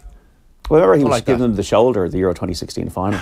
yeah. Um, it was very funny at the time, but Ronaldo, there's a sourness that's come into Ronaldo's vibe that Mm. that is not very um, edifying. Is that the word? Maybe it happens to us all as we get older. I, maybe I, I don't know. Well, you know, well. I, uh, that- you know, I suppose you saw it from me in the production box three years, James. So Of course, yeah, yeah. And I think you got. I think you've got easier to deal with, John. Okay. You've gone the other way of Ronaldo. Well, that's uh, that's aged good. gracefully and, That's and good, that's, that's good to know. mellowed. Yeah, That's, yeah. that's probably right, actually. It's all. It's the strolls on Killiney Beach. See, it's the beach. Yeah, it's the. I know he has the beaches in Madeira, but I think Killiney is something. Yeah. There's something about the stones underneath your feet. Well- the grounds of a human being. Uh, well, I think that anybody who um, is in Dublin should get out there for a walk. Uh, the hill itself, it's it's an amazing place. Like it's a, it's right here. Uh, and one thing that sometimes we kind of lack uh, awareness of, and I was one of those people for a long time, is just what is on your doorstep. Yeah. Whether it's Clare, Donegal, uh, Monaghan, um, Kildare, uh, Cork. I, I think yeah, I think if Cristiano Ronaldo's watching this morning, I think he, if there's a spare room in your gaff, John, even for a couple of nights, he could do with maybe flying over and staying in Killiney and grounding himself again because he's, he's just lost his way a little bit. Yeah, well, um, I don't know if he'd like to fry up. I well probably wouldn't. No, I enjoy it too much. Yeah. Uh, right. Anything else? Uh, not much. Um, Eddie Jones probably going to be sacked today. Um, I'm, I'm I'm disappointed. I I kind of hoped that it would burn out in, in the group stages of the World Cup. Uh, Warren Ball is back in Wales. That's good news. And um, Horse Racing Ireland Awards last night, Honeysuckle Horse of the Year. Uh, Kevin Manning won the Irish uh, Hero Award and uh, JP McManus contribution to the Industry Award. And um, it's all though about the World Cup, isn't it? About these two matches. And have you feeling anything in your waters, lads, about predictions or, or what- what you're feeling about England now? Um, I I hope that from an England perspective that they go and try and win the game as opposed to picking five at the back. I think he's probably going to pick five at the back, and I think it's wrong. And as a result, I don't think they're going to go through. Right. Mm, yeah, the French have a vibe about them. That- there's- uh, th- uh, As Brazil go on, I think everyone is sort of landing into that territory of Brazil being favourites. Right. Um, but we're we're very reactionary, aren't we? Like after each day's action, we're like, oh, they're the favourites now. Is anybody going to beat Mbappe? So you think Richarlison still has a chance on three? Uh, well, each way. So um, it just depends how far you get in the tournament, I think. Um, I think you need six. Whoever gets to six will do it. Morata. Yeah, like it's not beyond the bounds possibility that Morata's also sitting, sneaking along there on, on his three. Yeah. So needs a big game tonight, and they need to go through. Right, John Duggan. All right. Ger, Shane, mind yourselves. More from John and off the ball on Saturday afternoons on Newstalk. Now, uh, the Leopardstown Christmas Festival takes place from the 26th to the 29th of December. It's a great day out for sports fans, socialites, and thrill seekers alike. Every day this week, we have two hospitality places for the Leopardstown Pavilion to give away. You get a reserved table, lunch, chat, and tips from top tipsters, and much more as well. To enter, just comment with a horse. to enter, sorry, just comment with a horse emoji on our main Twitter page at Off the Ball, and you're automatically in the hat. And remember to ensure that your DMs are open because that's how we'll contact you. The Leopardstown Christmas Festival is December 26th to 29th. Tickets from 35 euro available at leopardstown.com. Now, back to uh, Gaelic Games, and I'm delighted to say we're joined on the line by uh, Galway GAA Chairman Paul Bellew. Paul, good morning to you. How are you? Morning, lads. I'm very well, and yourselves? Yeah, welcome back. Um, we, we talked to you about a year ago, I think, at this stage, um, when you'd pulled off the coup of, of getting Henry Shefflin to join as. Uh, I, I think your role has changed in the meantime. Am I, did I miss a year, or is that that was last year, right? Yeah, I was chairperson of the hurling committee in Galway last year. We'd have a hurling and football committee, and then we'd have the county board. And uh, after that, uh, I got a notion to go a bit further afield, Ger. And uh, so, yeah, first year as county chairperson, just put down. What's that experience like moving from being responsible for one of the two sports and then actually having to, you know, undo some of the, the unconscious bias that everybody has when they're looking after their own parish? Yeah, it's a, it's a fair shout, and there's always been a little bit of that in Galway. I think you know if you a hurling background or you a football background, and to me it was always always very over emphasised and, and didn't need to be. So it's actually went very well. Um, I've I've made a strong commitment. I'm a Galway GAA person first and foremost, and uh, everyone was treated equally and fairly. And look, we've we've a great team with us as well. So I think that kind of the divide is is going away the longer we go on. And uh, I said everyone got treated equally, be it financially, uh, in every every way possible, and that that is borne out. But look, it's both teams, both management teams, both boards. Everybody's working together now, and that's that's what's important. Um, did it help that you had kind of come through the ranks to see exactly what the difficulties had been and, and had gone through some difficult periods as well?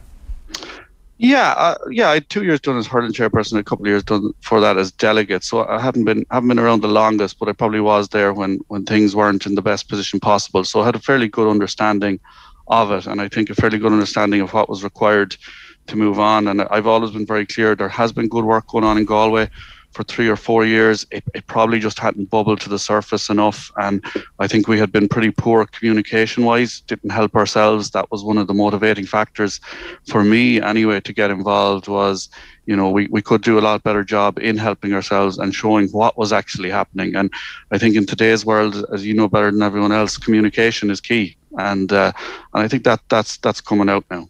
Uh, and that was part of the motivation for coming on last year was to talk about some of the, the funding around the hurlers in particular. You made a commitment that the hurling team in particular at that stage, because that was your, your bailiwick, uh, would would not want for any funding. And lo and behold, the figures are absolutely backing up exactly the commitment you made.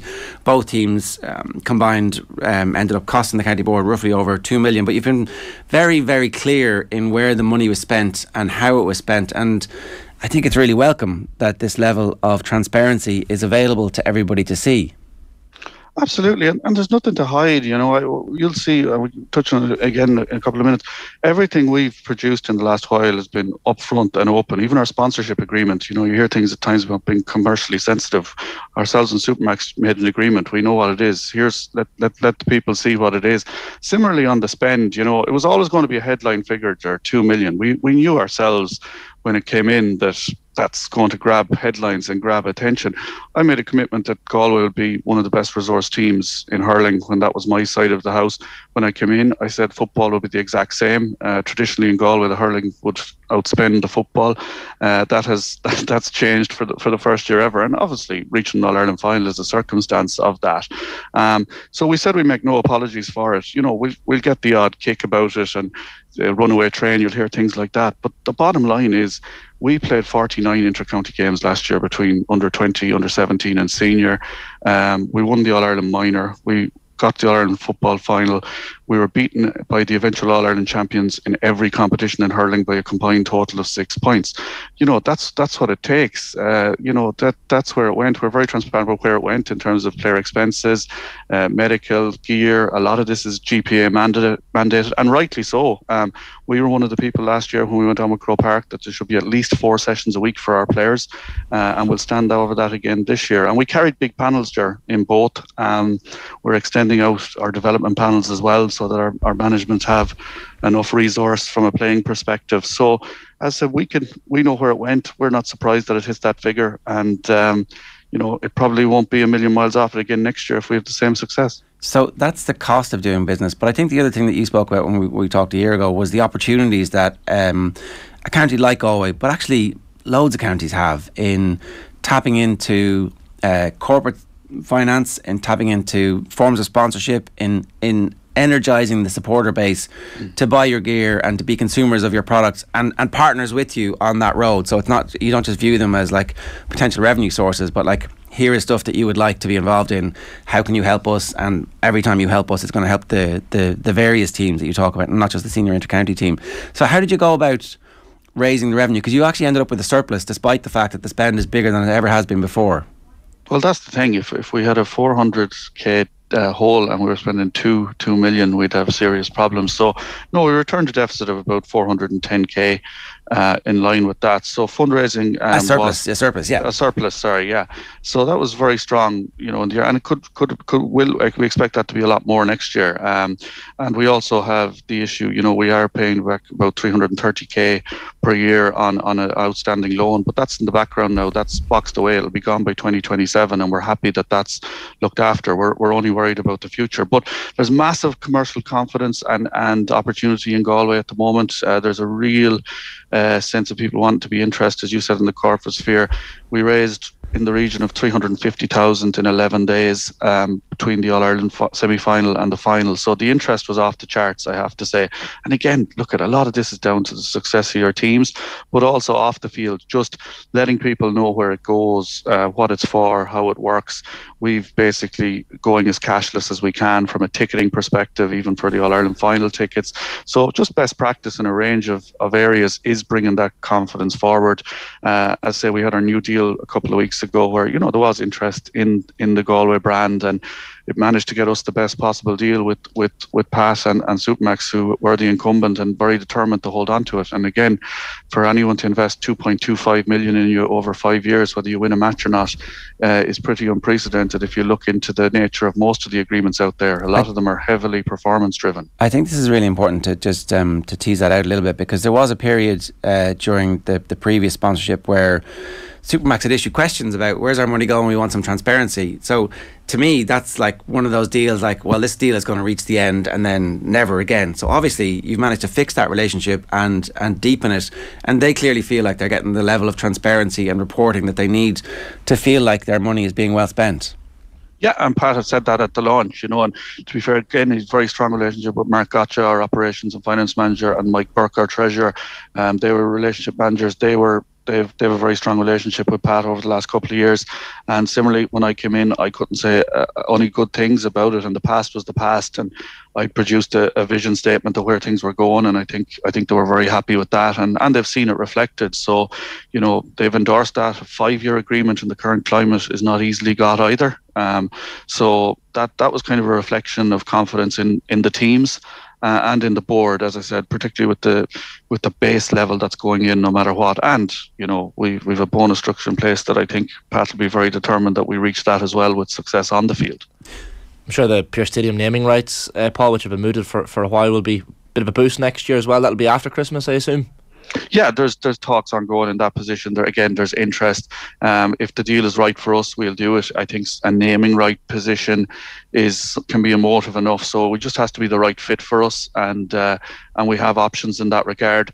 The main one for us, Shane, is is the lights in Pearse Stadium um, for the league in 2024. That's our real ambition now at the moment. It's it's probably not acceptable in this day and age that a county, the status of Galway in, in hurling and football, hasn't the ability to have Saturday night games or um, you know, even for club at the latter end of the season. So that's very much the next, the major strategic project in Galway at the moment.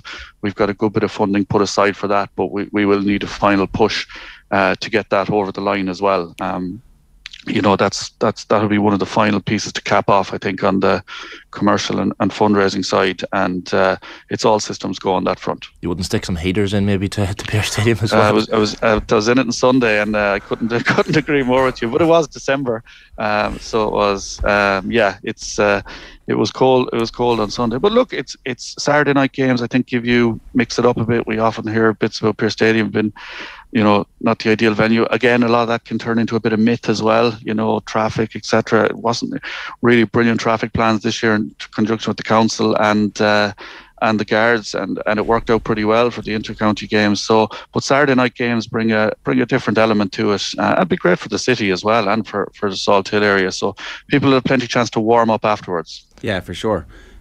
On head jump. Uh, the other thing that I wanted to ask you about was the cashless stuff. Um, we're seeing very many counties report a surge in uh, gate receipts from club matches. Now, it might be because the club matches are in a better time of the year, and uh, it's going to be very interesting to see over the next couple of years as we trace trends. How important is going cashless, do you think, in, in helping to boost the coffers, not just in, in Galway, but nationally?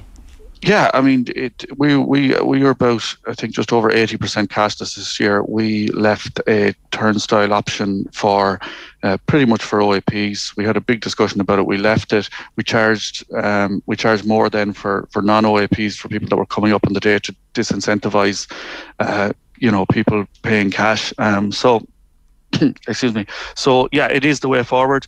Um, you're also from a planning perspective, Joe. We're just saying we know how much tickets we've sold in advance from a stewarding point of view, from a data perspective. It, it's excellent. Um, you know, the two million figure was always going to jump out on on um, spend, but the big story for us internally here in Galway again is our club game generated 1.4 million uh, this year. Uh, 1.2 million of that in gates, the rest in streaming and commercial income. Uh, it's off the charts. I, I, really hard find it hard to explain. Um, like that is the big story for for a club county scene, a club scene to generate 1.4 million. And do you have any um, idea, Paul, what that would have been before the pandemic? So, is there anything that you can kind of? Our the last comparable figure was just under the million in 2019. Right. Okay. Yeah. So, so a 35 to 40 percent increase. It's a significant increase, and it's the growth and popularity of our games. You know, um, look at I'm I'm a big fan of the split season. I'm not going to mince my words on it. I I actually think you're going to see a lot of surpluses in the next few weeks, and I think there's a message in there somewhere that club club games. It'll never replace the county game. I've never been a, a fan of this. I've often heard it been said. I know it's heard it on this show a lot as well. You know, oh, the club is a good product and all this. It's not. It's a local product, but that's okay too. And uh, I, I, I am a big advocate for. I know there's certain areas where we think there's losses, but I think counties are becoming more sustainable and ability to stand on their own feet because of when the games have been played, because of the interest generated in them. Um, so for me, from that perspective, I, I just think no more than the age grade piece, which which I don't know, do we, we don't even want to touch that. Well, no, I, I, I do, yeah, yeah. We, we could be here for an hour, but again, can we not just leave things for a couple of years and see how they go? Because we have this habit in the GA of changing something after one year or two years when we don't fully know what's working or what's not working. And I would say that is the split season perfect? No. Is it better than ever than we've had before? Absolutely yes. Before I touch on the age grade thing, uh, Paul, can I just uh, it was interesting to see comments from John Costello out of the Dublin GA um, annual report. He was talking about this national coaching and development funding. Um, and of course, there's been changes to qualifying criteria, and he was pointing out that it means there's an annual coaching cut into the capital of, of 447,000 euro.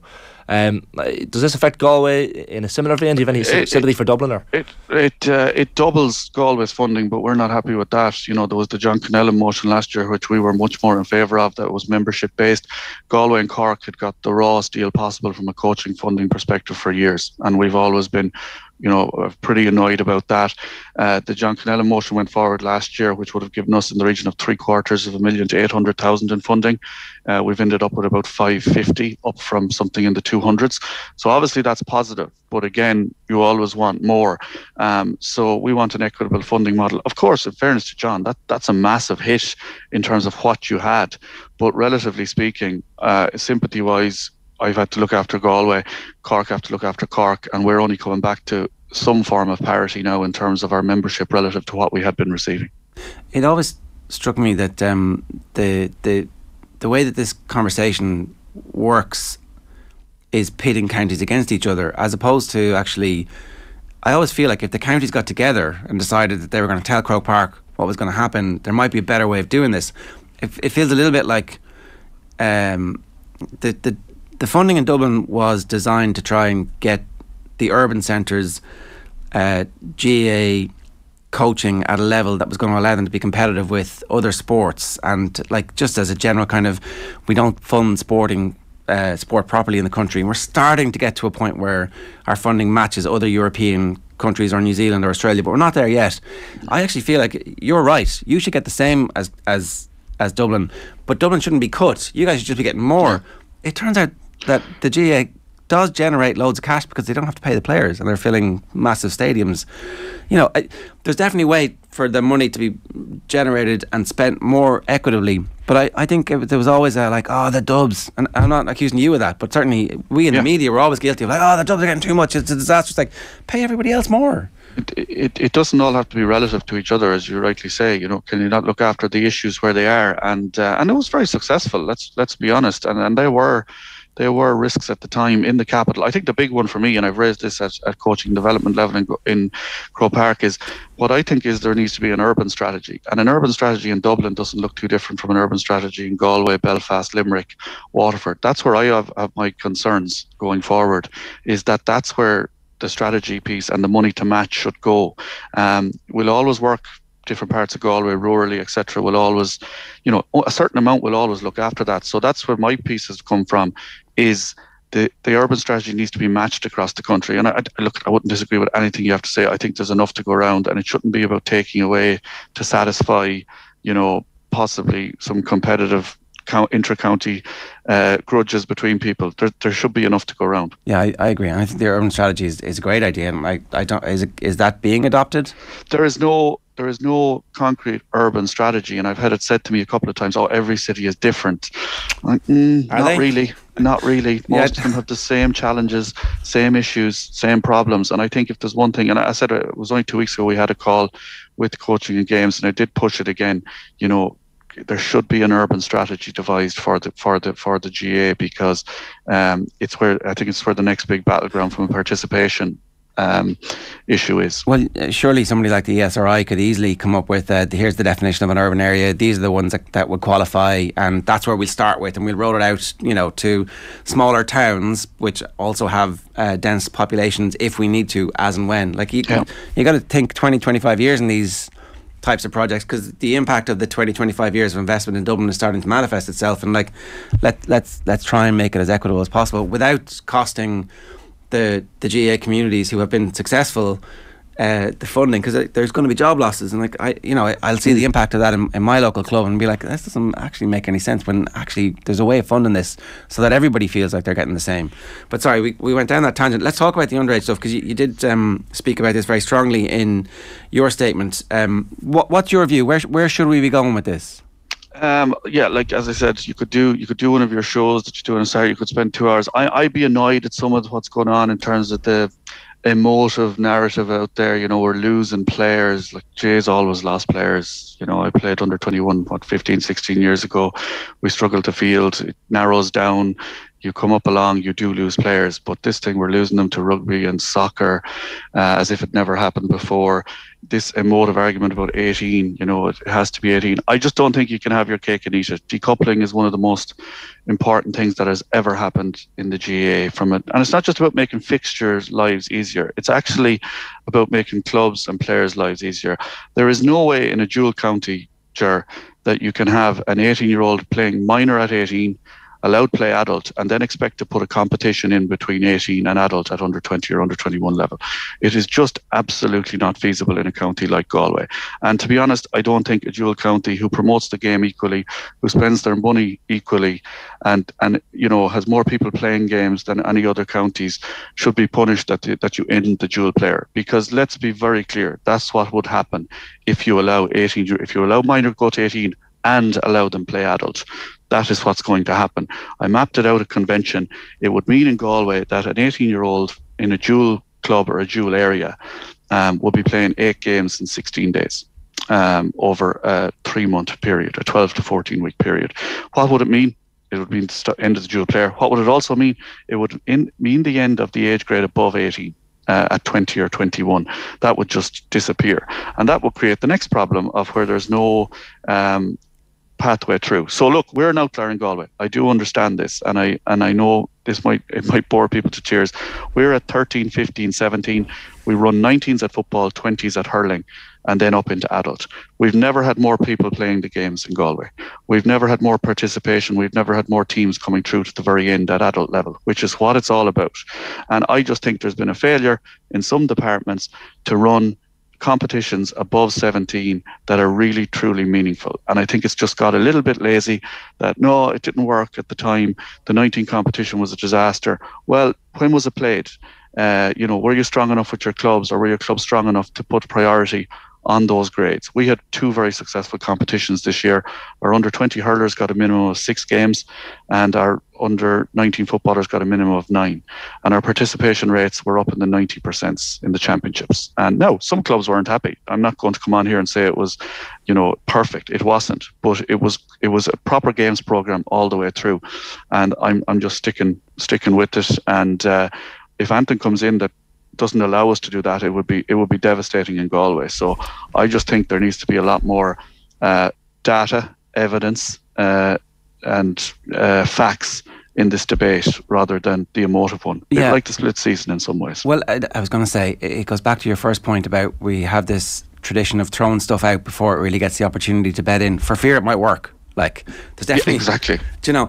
Um, it, it, it, it strikes me that there hasn't been a, a lot of leadership on this, like because they, they made they made these changes on the basis of long form, longitudinal studies that suggested this was the best thing to do. It it got put through, but then now it has no champion. I don't know who. I don't know who to talk to to go. Well, why did you do this in the first place? Remind everybody about that. Try and carry the day about the argument. It's like, ah, look, we tried. Sure, what can we do? I, I would agree with you. I mean, has anybody come out like and said that's the end of the dual player if this goes through? Has anybody said the problems it will create um, that there'll be no pathway after 18? You know, and this again is about the elite player. But look at from a leadership perspective, I, I don't disagree. I think someone has to nail the colours to the mast here and explain be very clear what the repercussions of this, not drift back into a vote of Congress that could have massive repercussions. And I look at, I'm more concerned about the, the club piece on that front because look at the GA is a participatory sport. I, I love the intercounty. Don't don't get me wrong. I've been involved in it. It's great, but the club stuff is GA is not a spectator sport. It is a participatory sport, and if we don't keep players playing and clubs thriving, then that there won't be a whole lot left to watch. So I'm passionate about it. On the intercounty age grades, we're actually quite agnostic here in Galway, whether it's 17 or 19 or 18 or 20, because it doesn't matter as much at intercounty. Because again, the idea that you're losing an elite player there, again, factually, data wise, not the case. They mightn't all make, they can't all make it at adult level. You're Yeah. only allowed to put out 15, but they're all playing club. Everyone that played for Galway minor hurling and football over the last year, they're all still playing club and whatever. Our big thing in Galway is and probably going to be a bit about it next while. We're still fuming over our the way our under 17s in hurling are in no man's land. Well, I, I, okay, I, I actually I, I I wanted to bring that up because um my my background's a hurling background. It's clear yours is too. It always struck me that like hurling people are hurling people up until it might cost them a medal or their under underage team a medal. Yeah. Um, it's funny you say that. We're we're we're just in going through it at the moment. We're we're we're pretty annoyed, and again, it goes back to a leadership element. We put in the request again this year. Fergal Healy's involved. He's over our minor uh, team. He's all genuinely focused on development. He was in with the seniors a couple of years ago. Completely flipped his mindset in terms of what minor should be about, uh, in terms of development, and uh, we're that's where we're going. We would rather play five games and lose in All Ireland than play two and win one. You know, that's genuinely where we're at. And I mean that. Our minor footballers last year won All Ireland. Great. Didn't win a Connacht title. Played nine games. And they got so much better throughout. But they deserve the same amount of opportunity to play nine games as did Mayo, as a Galway team does against a Clare or a Tipperary. So we've asked a few times and we've got pushed around. No, no. It's CCC's decision. No, no, it's development CCC. No, sorry, we'd love to let you in, but Leinster won't let you in. Leinster, no, no, it's not us, it's the individual counties. So we've put a motion to Croke Park. Let's see, will it get on the floor? I'd have my my concerns about that. Um, uh, it's just it's just a real frustrating element that this this is going on in this day and age. Another one another one that I really want to tackle, and it, it's good to have the platform to do it. There's been this little thing thrown out whenever there's been a response from national level. Oh, Galway want it. Their club teams.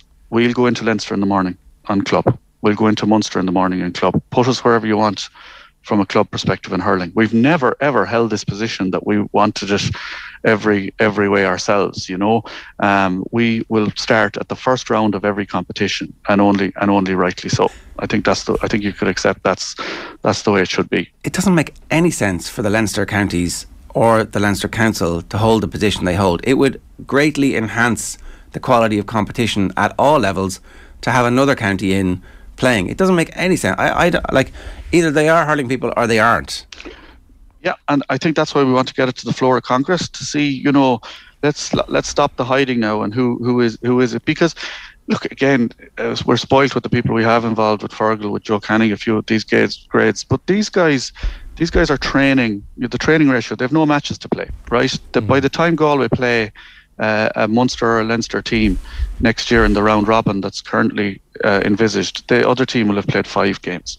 Now, how anyone thinks that is fair or equitable, and look, we have a very good minor team next year. You know, we may win it, we may not.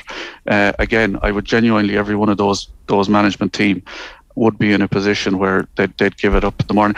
And you know, we've a, we've a lot to do on our own side of the house. Don't get me wrong. I can't put everything on that. We've often talked about the why has the leap never gone through from minor to adult? That's that's what we're fixing at the moment. We had a fantastic launch last night in the Clayton Hotel with Setanta College, um, a partnership for all our underage squads with under the tutelage of Des Ryan, Des who you probably know from from Arsenal. So Des is going to taking over that side of things in partnership with Setanta for us. But these are the things we have to do now, just to just to stay busy when we're not playing games.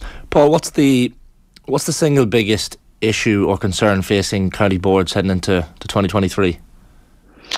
Oh, that's a that's a good question. I think uh, from our perspective, from I like the volunteer piece to me is one I'd be most worried about. You know, and I, I mean that I know that might uh, certain companies have financial issues. Just just looking forward, um, the level of professionalism on the field, and obviously we spent two million. I don't want to speak outside both sides of our mouth, but uh, we ran Galway GA, GA this year. You know, 4.5 million business with five permanent staff and an officer base that claimed 128 euros in expenses. Now, that's extremely unsustainable uh, going forward. Um, I think uh, you, you have to have that level of energy and commitment um, is great, but how long can you keep it going? I, I think that to me, I can see it in clubs as well and in county boards is is the time and the resource to keep counties uh, up uh, with on the field. I think that's a massive, massive threat. And I, I know people laugh at me and say you spent two million, you're making it a lot worse for, for others. But that to me would be across the board the biggest threat to county boards going forward. It's uh, it's definitely and it's a threat to all of society that isn't full time professional in, Hmm. in all sports, and we hear from everybody. Uh, Paul, it's always really interesting to talk to you. I think we're going to follow up on um, the success or otherwise of that motion to get the underage teams into Leinster because it just doesn't make any sense. So, um, thanks a million for explaining all that too, because I, I do think that it's important that we get to see how how county boards can turn things around really quickly with the, the right people and a clear vision and also the support of uh, you know great management teams yeah. a clear volunteer ethos and then also um, just how how it should look when it's run properly so um, hopefully we got to, to get talk through all that. Great to have you with us Paul. Thanks a million. Thanks very much, lads. Cheers. that's uh, Paul Bellew there the uh, county board chairman of uh, Galway. And um, it's some turnaround really. And you kind of you see some counties are really getting their houses in order and things are progressing nicely. And it, it's a counterpoint from him about the the dual player and the under 18 age grade that's another story that is bubbling up um, but where where's the where's the person where's the idea behind it those people who who went to bat for this all of a sudden it's like they've disappeared into the ether Mm. I'd love to hear his point even about counties not wanting to go into the into other provincial, provincial championship. Uh, There has to be an accountability in terms of voting, as he says. Maybe Congress will show us which side of the fence people are sitting on. Um, but that's a mad one. Why people wouldn't want to play games against Gal- a Galway underage team is beyond me. Yeah. Right, 19 minutes past nine. We're live every morning with Gillette Labs for an effortless finish to your day. Make sure you tune into the lunchtime wrap today. It's going to bring you all the very latest sports news. It's with thanks to Deliveroo. Check out the app for some great match day meal deals across the World Cup. Deliveroo food, we get it. Uh, OTB Sports Radio today. Johnny Kilbane, uh, the boxer from Achill, who was the longest reigning world champion at any weight until Mike Tyson, I think. Uh, Dadcast from three, a career retrospective, is Bernard Brogan at four. Barry Ryan's uh, book on Irish cycling, The Ascent, is at six. And then Joe Molloy is live with the latest episode of A Slight Tangent. Uh, more from the World Cup and plenty more besides from 7 o'clock tonight. Follow off the ball on all of our social channels and subscribe to the OTB Podcast Network for the very best and uh, latest sports content. Right, after the break, former Republic of Ireland international Meabh De Burca joins us to talk about the topic of participation in sport among young females in Ireland. Stay tuned.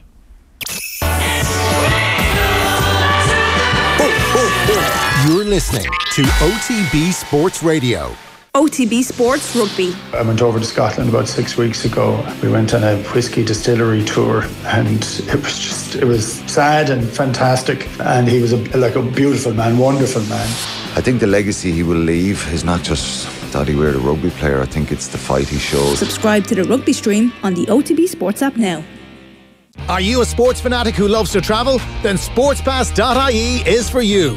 Log on for the chance to win the trip of a lifetime in 2023 to a top global sporting event. Eight winners get to choose from 12 incredible prizes, including trips to the Women's World Cup in Australia, the Super Bowl, the Masters, and WrestleMania. All prices include return flights, accommodation, and tickets for two people from anywhere in the world. That's sportspass.ie. You win, you choose. OTB AM. With Gillette. Get into your flow with the new Gillette Labs Razor with exfoliating bar. The Irish Times ran a story yesterday from Jack Horgan Jones that there had been a survey uh, undertaken by the Department of Sport at the request of Jack Chambers, the Minister for Sport, into young people's attitudes towards participation. Uh, one of the big things that came up was school uniforms, uh, both for uh, boys and girls, men and women, and uh, but particularly young females found that school uniforms were a barrier to them continuing to do sport at school. And as we know, the drop off rates for sport in secondary school is catastrophic at, uh, at a macro level in terms of the impact on health, socialisation, all sorts of reasons. If you believe in sport as any kind of power, uh, any force for good, then you realise that uh, kids dropping out of sport is really long term bad, and it's a force multiplier for all sorts of bad things uh, later on in life. Loneliness, depression, activity. You, you, actually get better school results if people have um, undertaken any form of even walking will improve a child's ability uh, to remember stuff in the next hour. So uh, we, we feel like this is an important story and we should cover it. And I'm delighted to say Meabh De Burca is uh, joining us now, former Republic of Ireland soccer international. Uh, Meabh, you've, you've done some work on this, you've been involved in this, I know as, as a mentor as well. There's a separate research project that has been undertaken which basically says largely the same stuff, I think. Yeah, exactly. Um, like I said, I, I work with Lidl and the LGFA in secondary schools trying to decrease that drop off that you were talking about, you know, particularly within teenage girls, I think they're three times more likely than boys to give up sport by the age of 13, which is huge, really. Um, so that's what kind of the focus is on, really. And um, like you said, there's so many other benefits, health, economic, everything, if we can try to encourage um, kids to stay in sport. It, the uniform was the big thing that came up yesterday, kind of the, the headline finding. What could be done to fix that? I think we need to move away from the rigid uh, uniform policy that we have. It's quite unique in Ireland. Like you don't see it on the continent or in the US. I think it needs to be become more uh, flexible. You know, just so that um, both men and, and boys, or sorry, boys and girls are comfortable in what they're wearing, you know, because there's also obviously you're looking at the participation in sport itself, but also when you look at physical activity, you know, how are kids going to school? Is it easy for them to go to school? Uh, back in the day, many years ago now, I used to cycle to secondary school, but you know, the first thing I noticed when I got the uniform, the skirt was down to my ankles. So that wasn't going to be uh, very safe or, you know, practical to, to cycle my bike with that. So I actually had to ask my mother to take up the skirt and to my knee so that I could cycle to school, you know, and those things really have to change. But I think we're moving in the right direction. Very slowly. Like really very, you know, it's, it's, it, it seems like you know, uh, I'm sure that um, you can change in schools now much easier than maybe you used to be able to. But at the same time, it's still not something that uh, is talked about at a massive level all the time. Uh, having a, an impact on cycling, on walking, on doing sport in school, it's kind of like these are separate things. You know, oh, we need to we need to think about those parents who uh, don't have to then feel pressurized to buy the clothes that everybody. I'm like, what? Uh, okay, that's a very strange counter argument to this. All these other benefits that are over here. Yeah, that's the thing. I think the main thing is that the the uniform is comfortable. You know, um, like you said, yeah, you could say to get rid of the uniform altogether, but um, it does open up another um, topical debate, I suppose, at the moment, given the cost of living crisis that we have. You know, there's a bill uh, before the Dáil at the moment, uh, affordable school uniform policy that's um, trying to be introduced. You know, um, Wales, I think, are looking at the same thing in that to see that can um, can families buy uniforms, just generic uniforms, and even iron on the crest rather than having to go and pay the fifty euro to one particular supplier. So I personally, I wouldn't be in favour of getting rid of uniforms completely, but I would be obviously in favour of, of making them um, more comfortable and obviously maybe like introduce some schools have PE uniforms. I know I did go into school, we had a PE uniform so that, you know, and make them more uh, even designed as well towards uh, females, you know, to, to make them more confident and confident and uh, more comfortable within their own um, the uniform that they are wearing on PE day or whatever day it is. What What was your experience, generally speaking, Meabh, of, of PE when you were in school? Was it was it encouraged? Um, it wasn't really. I went to a school where um, firstly I was only allowed to do one sport. Um, wasn't even allowed to train with the other sport. Uh, thankfully, things have really moved on uh, from then in my old secondary school but also even within um, the PE itself, only a select few of us were allowed to do it. Uh, even a leaving cert year, it had to be the the more elite players, I suppose, which really is the players who lead, need it the least, I think, within a school setting because we were already getting enough physical activity outside of school with the many other sports we were doing. So uh, I did talk as well to a friend recently. She's a secondary school teacher, and uh, the same thing there. Everyone in Leaving Cert isn't isn't allowed to do PE. Only those who are taking it on as a Leaving Cert subject. So anyone who uh, anyone else who isn't doing it for the Leaving, you know, isn't partaking in any form of physical activity during the school day, um, which is massive, really, given the amount of time that teenagers and children spend in school. I'm glad to hear it's moved on from, from your old school because it certainly hasn't moved on in every school in Ireland to this day, especially in, in all girls' schools. Uh, like, do you, do you almost feel like there's a there's a disconnect between the obvious benefits of, of exercise and PE and, and studying because uh, often the excuse given is oh, no, they need to study, they don't have time for, for PE, but clearly exercise is in tandem with that. Yeah, I still remember, like I said, the, the, the reason given to me that I, I couldn't uh, even train with the two sports was that it would affect my academics and you know I can't I, I can't agree, disagree more strongly with that statement. You know I know um, for a fact that um, sport helped me get through my academics. I I remember even I used to um, kick a ball outside the wall. You know I actually had neighbours that weren't too, happy with me at late at night banging a ball against the wall in between my uh, study sessions. You know just to try um, release some of that stress, I suppose, and definitely helped me, and I think it, it can be encouraged, you know, throughout. Particularly, like I said, those teenage years, you know, where physical activity, um, the the research is there that it does help, and like I said, even going out for a walk and that can stimulate the mind, and um, you know, even now we know uh, all the mental health benefits as well that physical activity can bring, um, not only to children and teenagers but to adults alike. Do you think people don't know about that? Is that why we're still uh, a little bit in the dark ages when it comes to integrating physical activity into study patterns and into the school day? Yeah, I think it's a cultural thing, really. I think um, it's how we've always done it. So then people are maybe not questioning it. Then, you know, I, I know from my experiences abroad, like even um, I lived in Sweden for a bit, and you know the children there, they, they definitely do a lot more pee than we do here. They the the young kids that come in they get changed, they shower after PE. You know, we it's not done here. Um, so I think maybe people are aware of it, but just um, they're afraid to, I suppose, uh, question the, the the way it's done. And you know, there's a lot of pressure on teachers from an academic side as well. You know, to be getting the results um, in the classroom. But like I said, um, you know, they, maybe they think that studying more will help that, whereas um, you know, we know that if you can try get a balanced approach um, you'll definitely be more successful. Your your CV, your traveling CV is is is strong in, as you say, Sweden, Norway, your time in America as well. So, like, when you've assessed those countries, like, how, how do we compare? Are, are we are we struggling noticeably compared to other countries when it comes to PE and and, and encouraging uh, physical education for young people?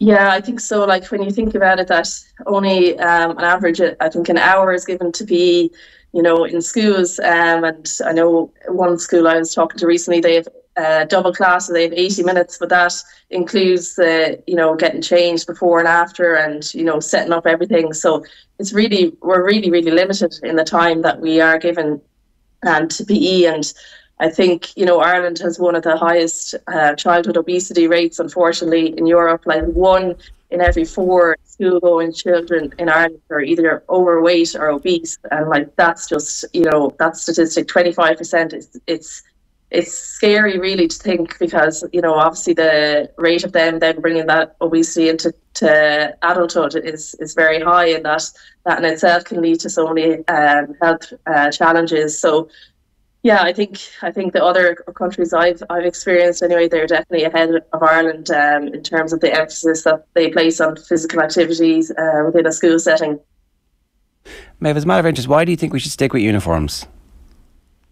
I think um, I suppose there's a lot of families maybe who are financially challenged and um, maybe even from disadvantaged areas, it, it nearly levels the playing field slightly. Um, you know, in that the children don't have to be wearing the latest gear, or the, you know, the pressure isn't there on families to to have to keep providing um, for children at least. In a, at least in that, that school setting, I know obviously they'd be wearing the clothes outside of school, but I think it does take a lot of financial pressure off the families, particularly if that affordable school uniform bill comes through the Dáil as well. Yeah, I just I, I always like you make the point they're they're wearing other clothes outside of school anyway, and like it's cheap to buy clothes now in a way that it maybe wasn't like when we were kids. You got like uh, you know one pair of jeans, and they were going to last you for the year. Now now you can get like good quality, well made stuff in a load of different shops that probably weren't selling it. Fast fashion obviously is not great for the planet, but it does mean that it's actually probably cheaper in the long run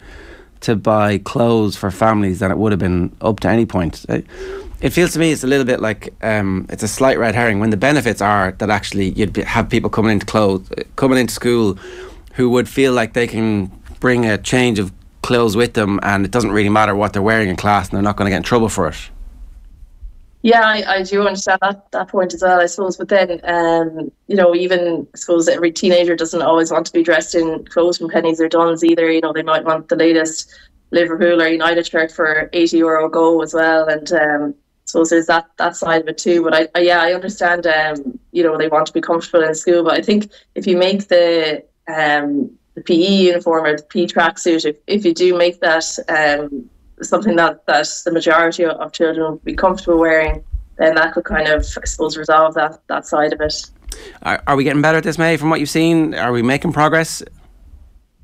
I think we're making slow progress. Uh, I don't think we're anywhere near where we need to be at the moment. Um, you know, I do think that the, the funding needs to go into it as well as, um, you know, the emphasis needs to be there, but also see if we can try to just increase physical activities in, in other ways, even even um, outside of the school setting too, and try to, you know, prevent these kind of, um, I suppose, the, the dramatic health um, and economic um, disadvantages that we get from being inactive. You know, um, like I said, there was a study released um, last year saying that you know physical activity, if if the inactivity, I suppose, causes up to 100,000 cases of disease every year in Ireland, and you know that then in turn leads to financial um, implications as well. So I think it's just such a broader um, issue as well, you know, that needs needs to be looked at. Even in terms of, I suppose, just as a society, we need to move on because even now you can see the office settings. You know, we're no longer seeing the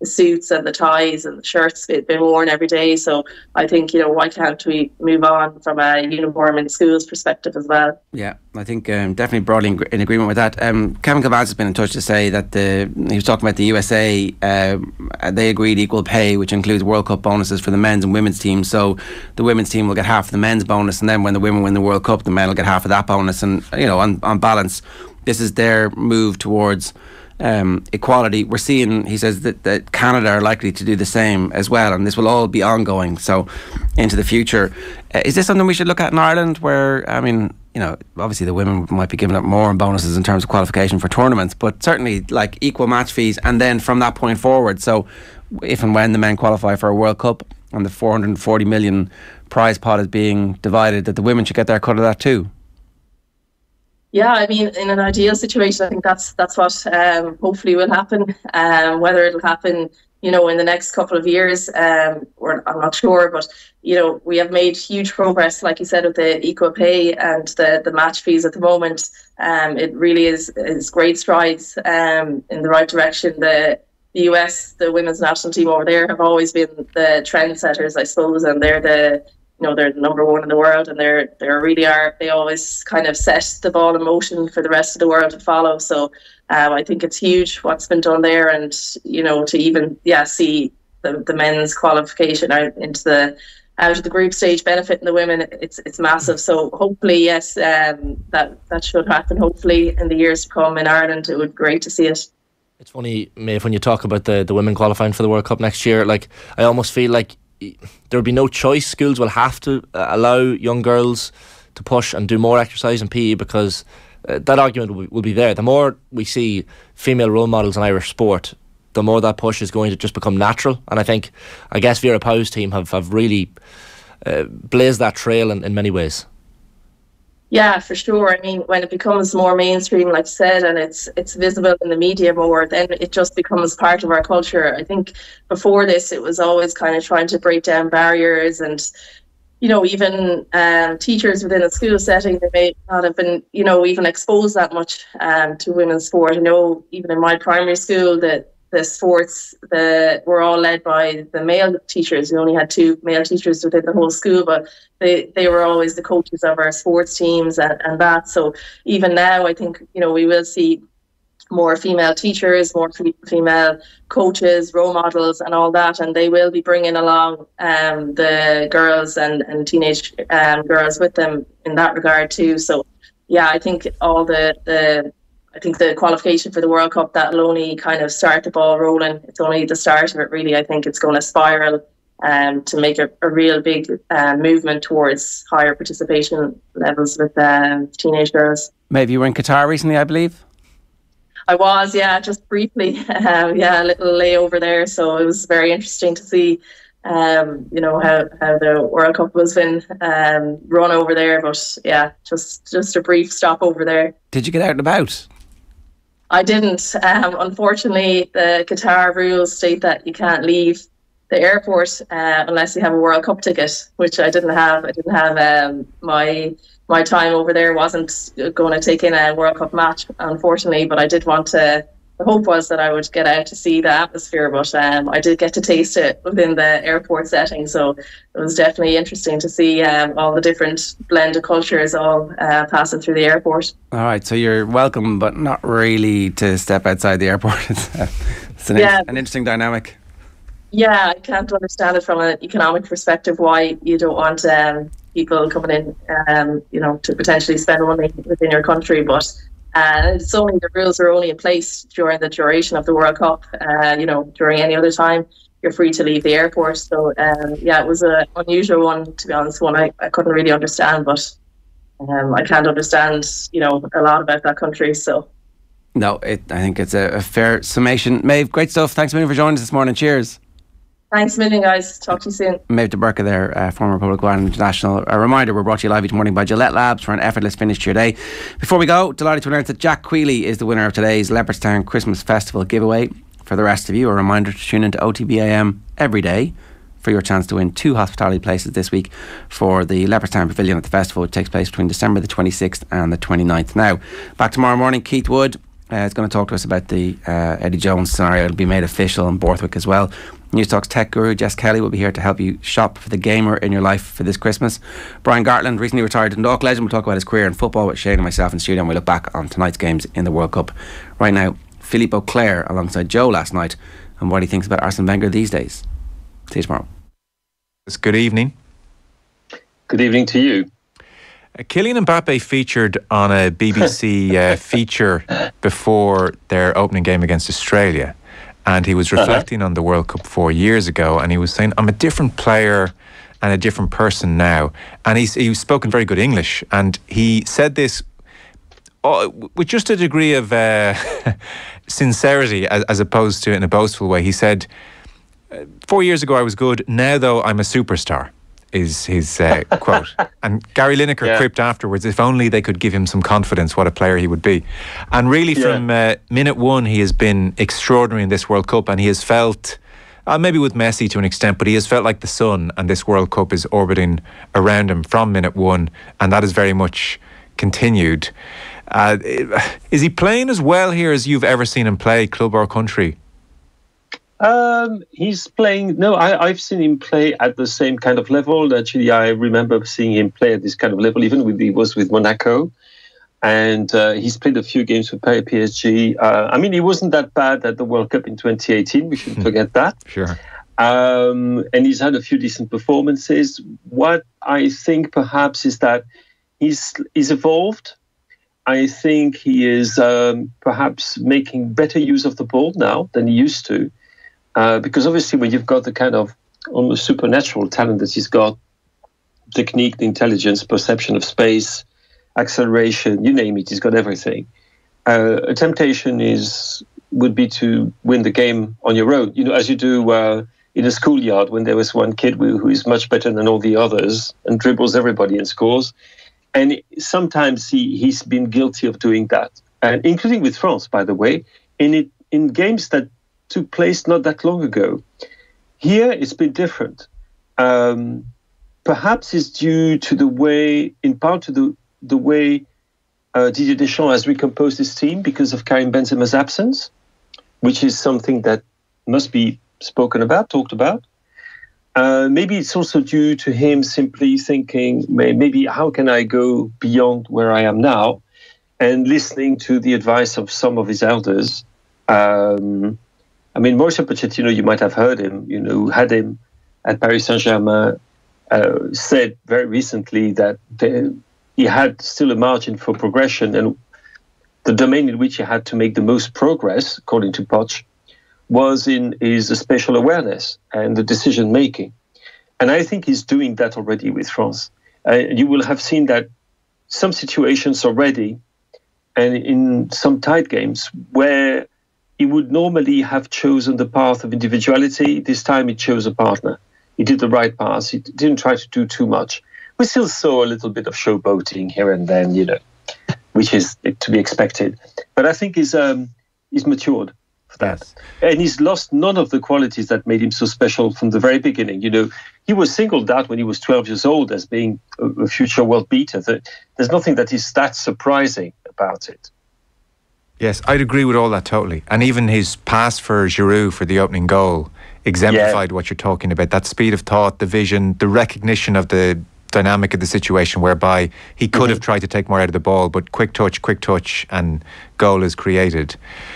There is uh, often a struggle to say something very new about him. So I'm going to hand over to yes. Matty Cash here. Matty Cash uh, had the uh, misfortune of uh, marking Mbappe yesterday for Poland.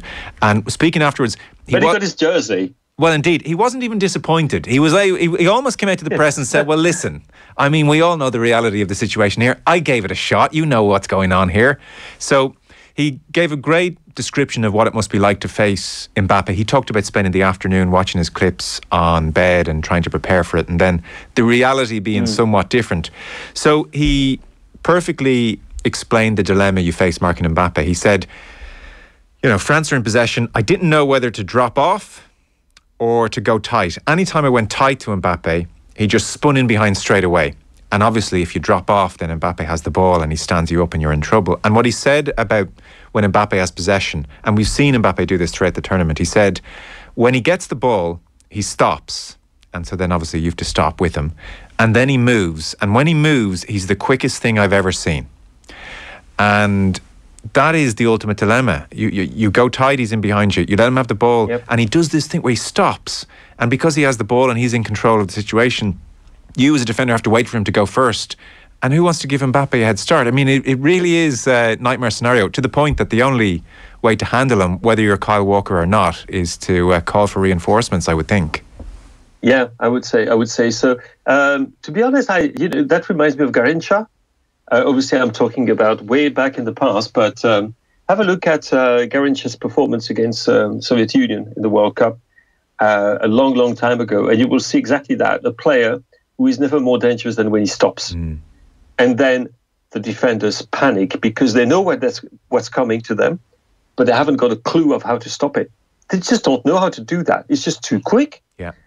The, the, the, fleet of you know of, of, of feet is absolutely um, extraordinary, um, and he's which is I mean one of the reasons why I'm almost convinced that England is not going to play with a four at the back on Saturday, and that um, Kyle Walker can sometimes, especially he's not a fully fit Kyle Walker yet, who's coming back.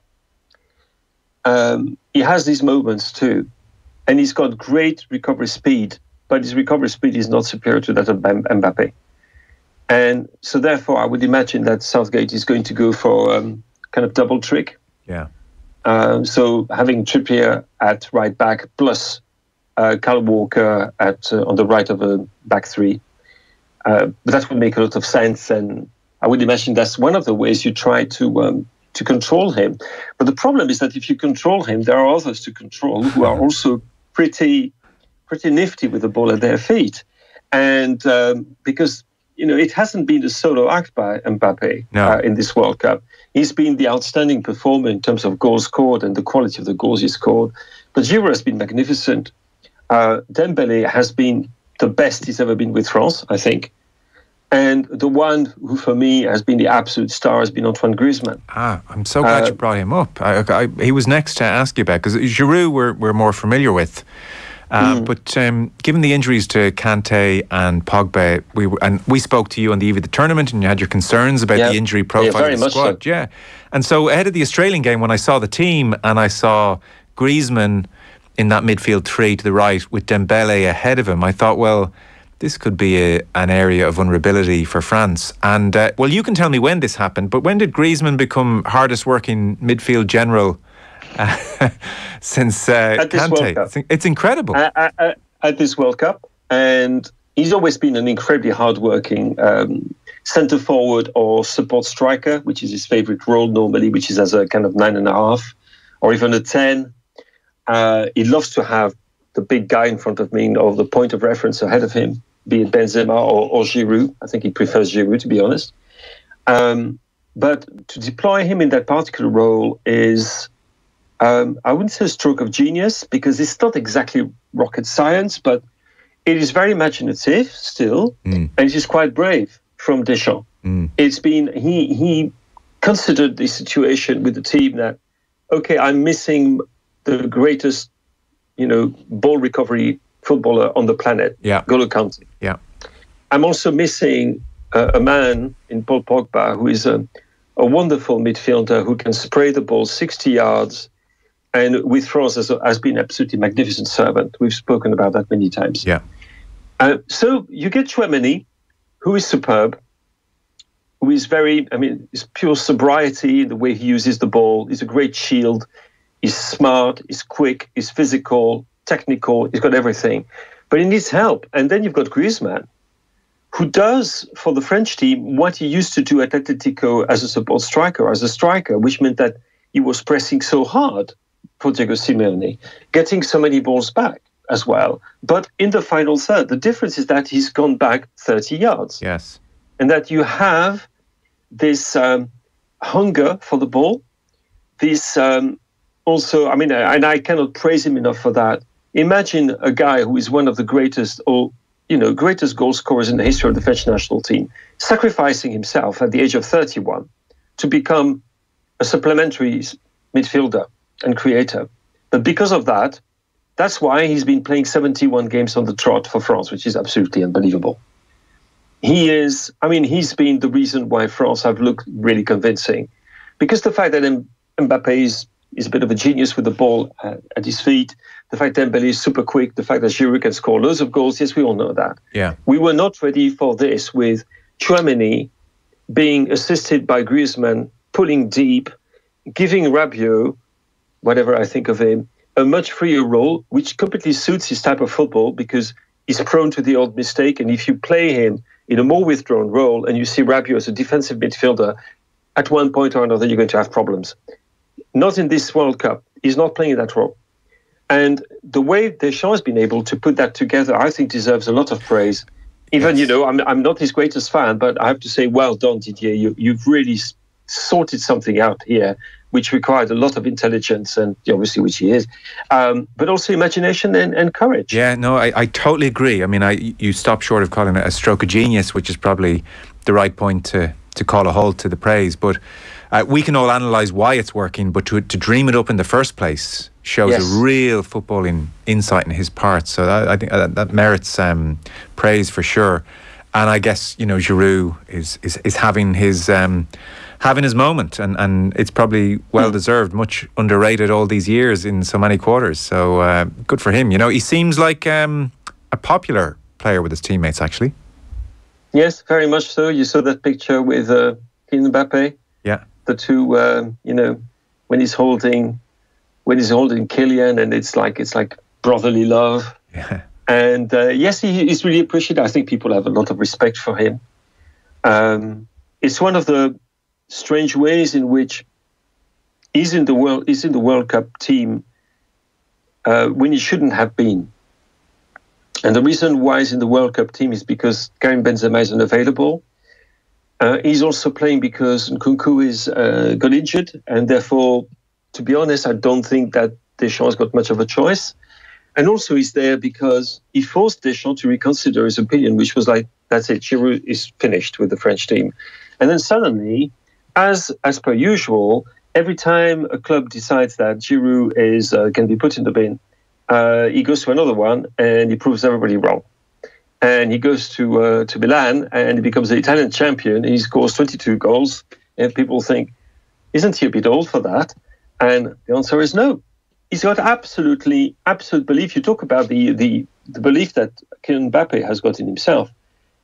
Giroud has it too, in a different way, but he has it. He doesn't express it in the same way.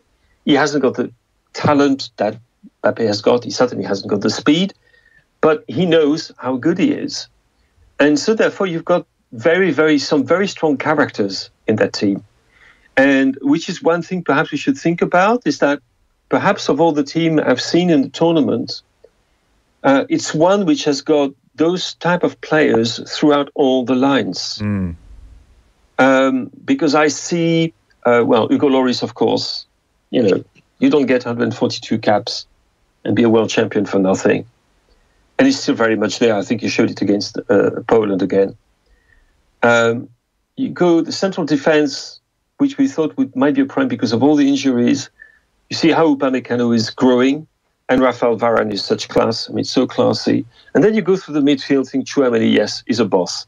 Griezmann is a boss. Uh, you look uh, at at Giroud, he's a boss. Mbappe is Mbappe. You know, you carry on like that. You think actually that's pretty decent, and it's much stronger than I thought it would be. Yeah. Um, because Well, of all the I, injuries. try- I you tried know. to tell you. I tried to tell you to stop being so miserable at the start of the tournament, and uh, I've been proven No, correct. I had my doubts, like everybody else.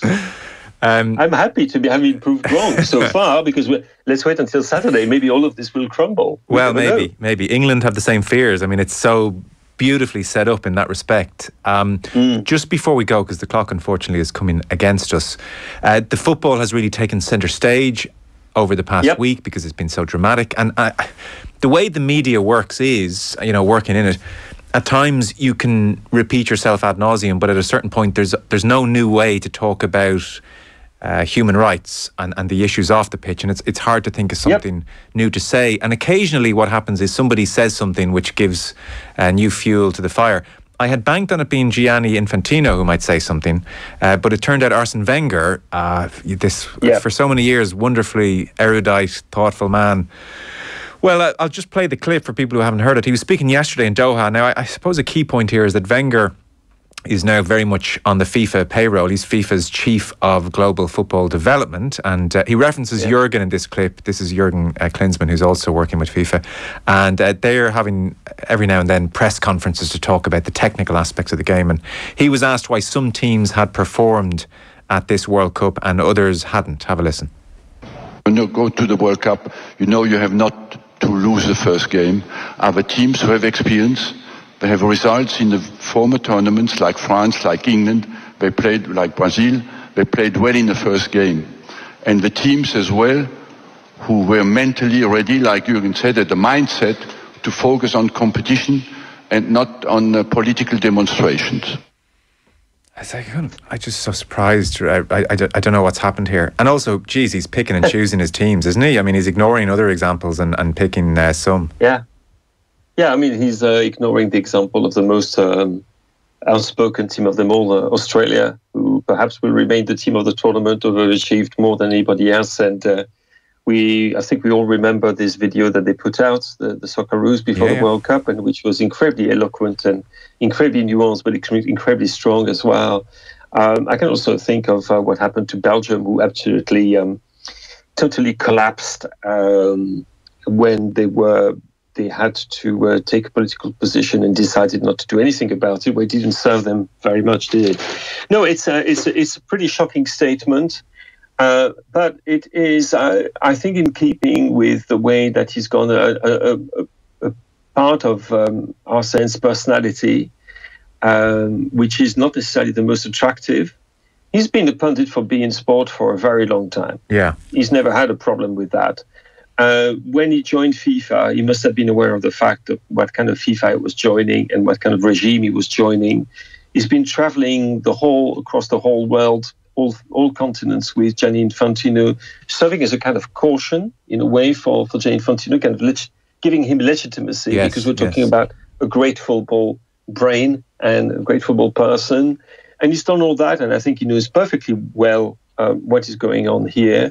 Uh, he was already a, a loudspeaker for the Biennial World Cup. Do you remember that? Which is one of Gianni Infantino's great projects. And in this particular instance, he, he decided to make this pronouncement without being prompted at all, something that totally came out of the blue for everybody. People were really shocked about it. And I don't think he cares. And that's, um, that's very sad to say that, but I really don't think he cares. Uh, I think for him, football has become something which is so, in a way, consumed it's in its own um, essence that can really genuinely live in a bubble. That he can look at it like that, and the only thing which interests him, him interests him, which is crazy for somebody who has such, you know, uh, an open mind when it comes to world politics and and and history and so on. And when it comes to football, he's got it's not a blind spot. He decides to become blind, and um, it's something he should be taken to task for. And um, I hope to be able to do that at some point. I'll let you know.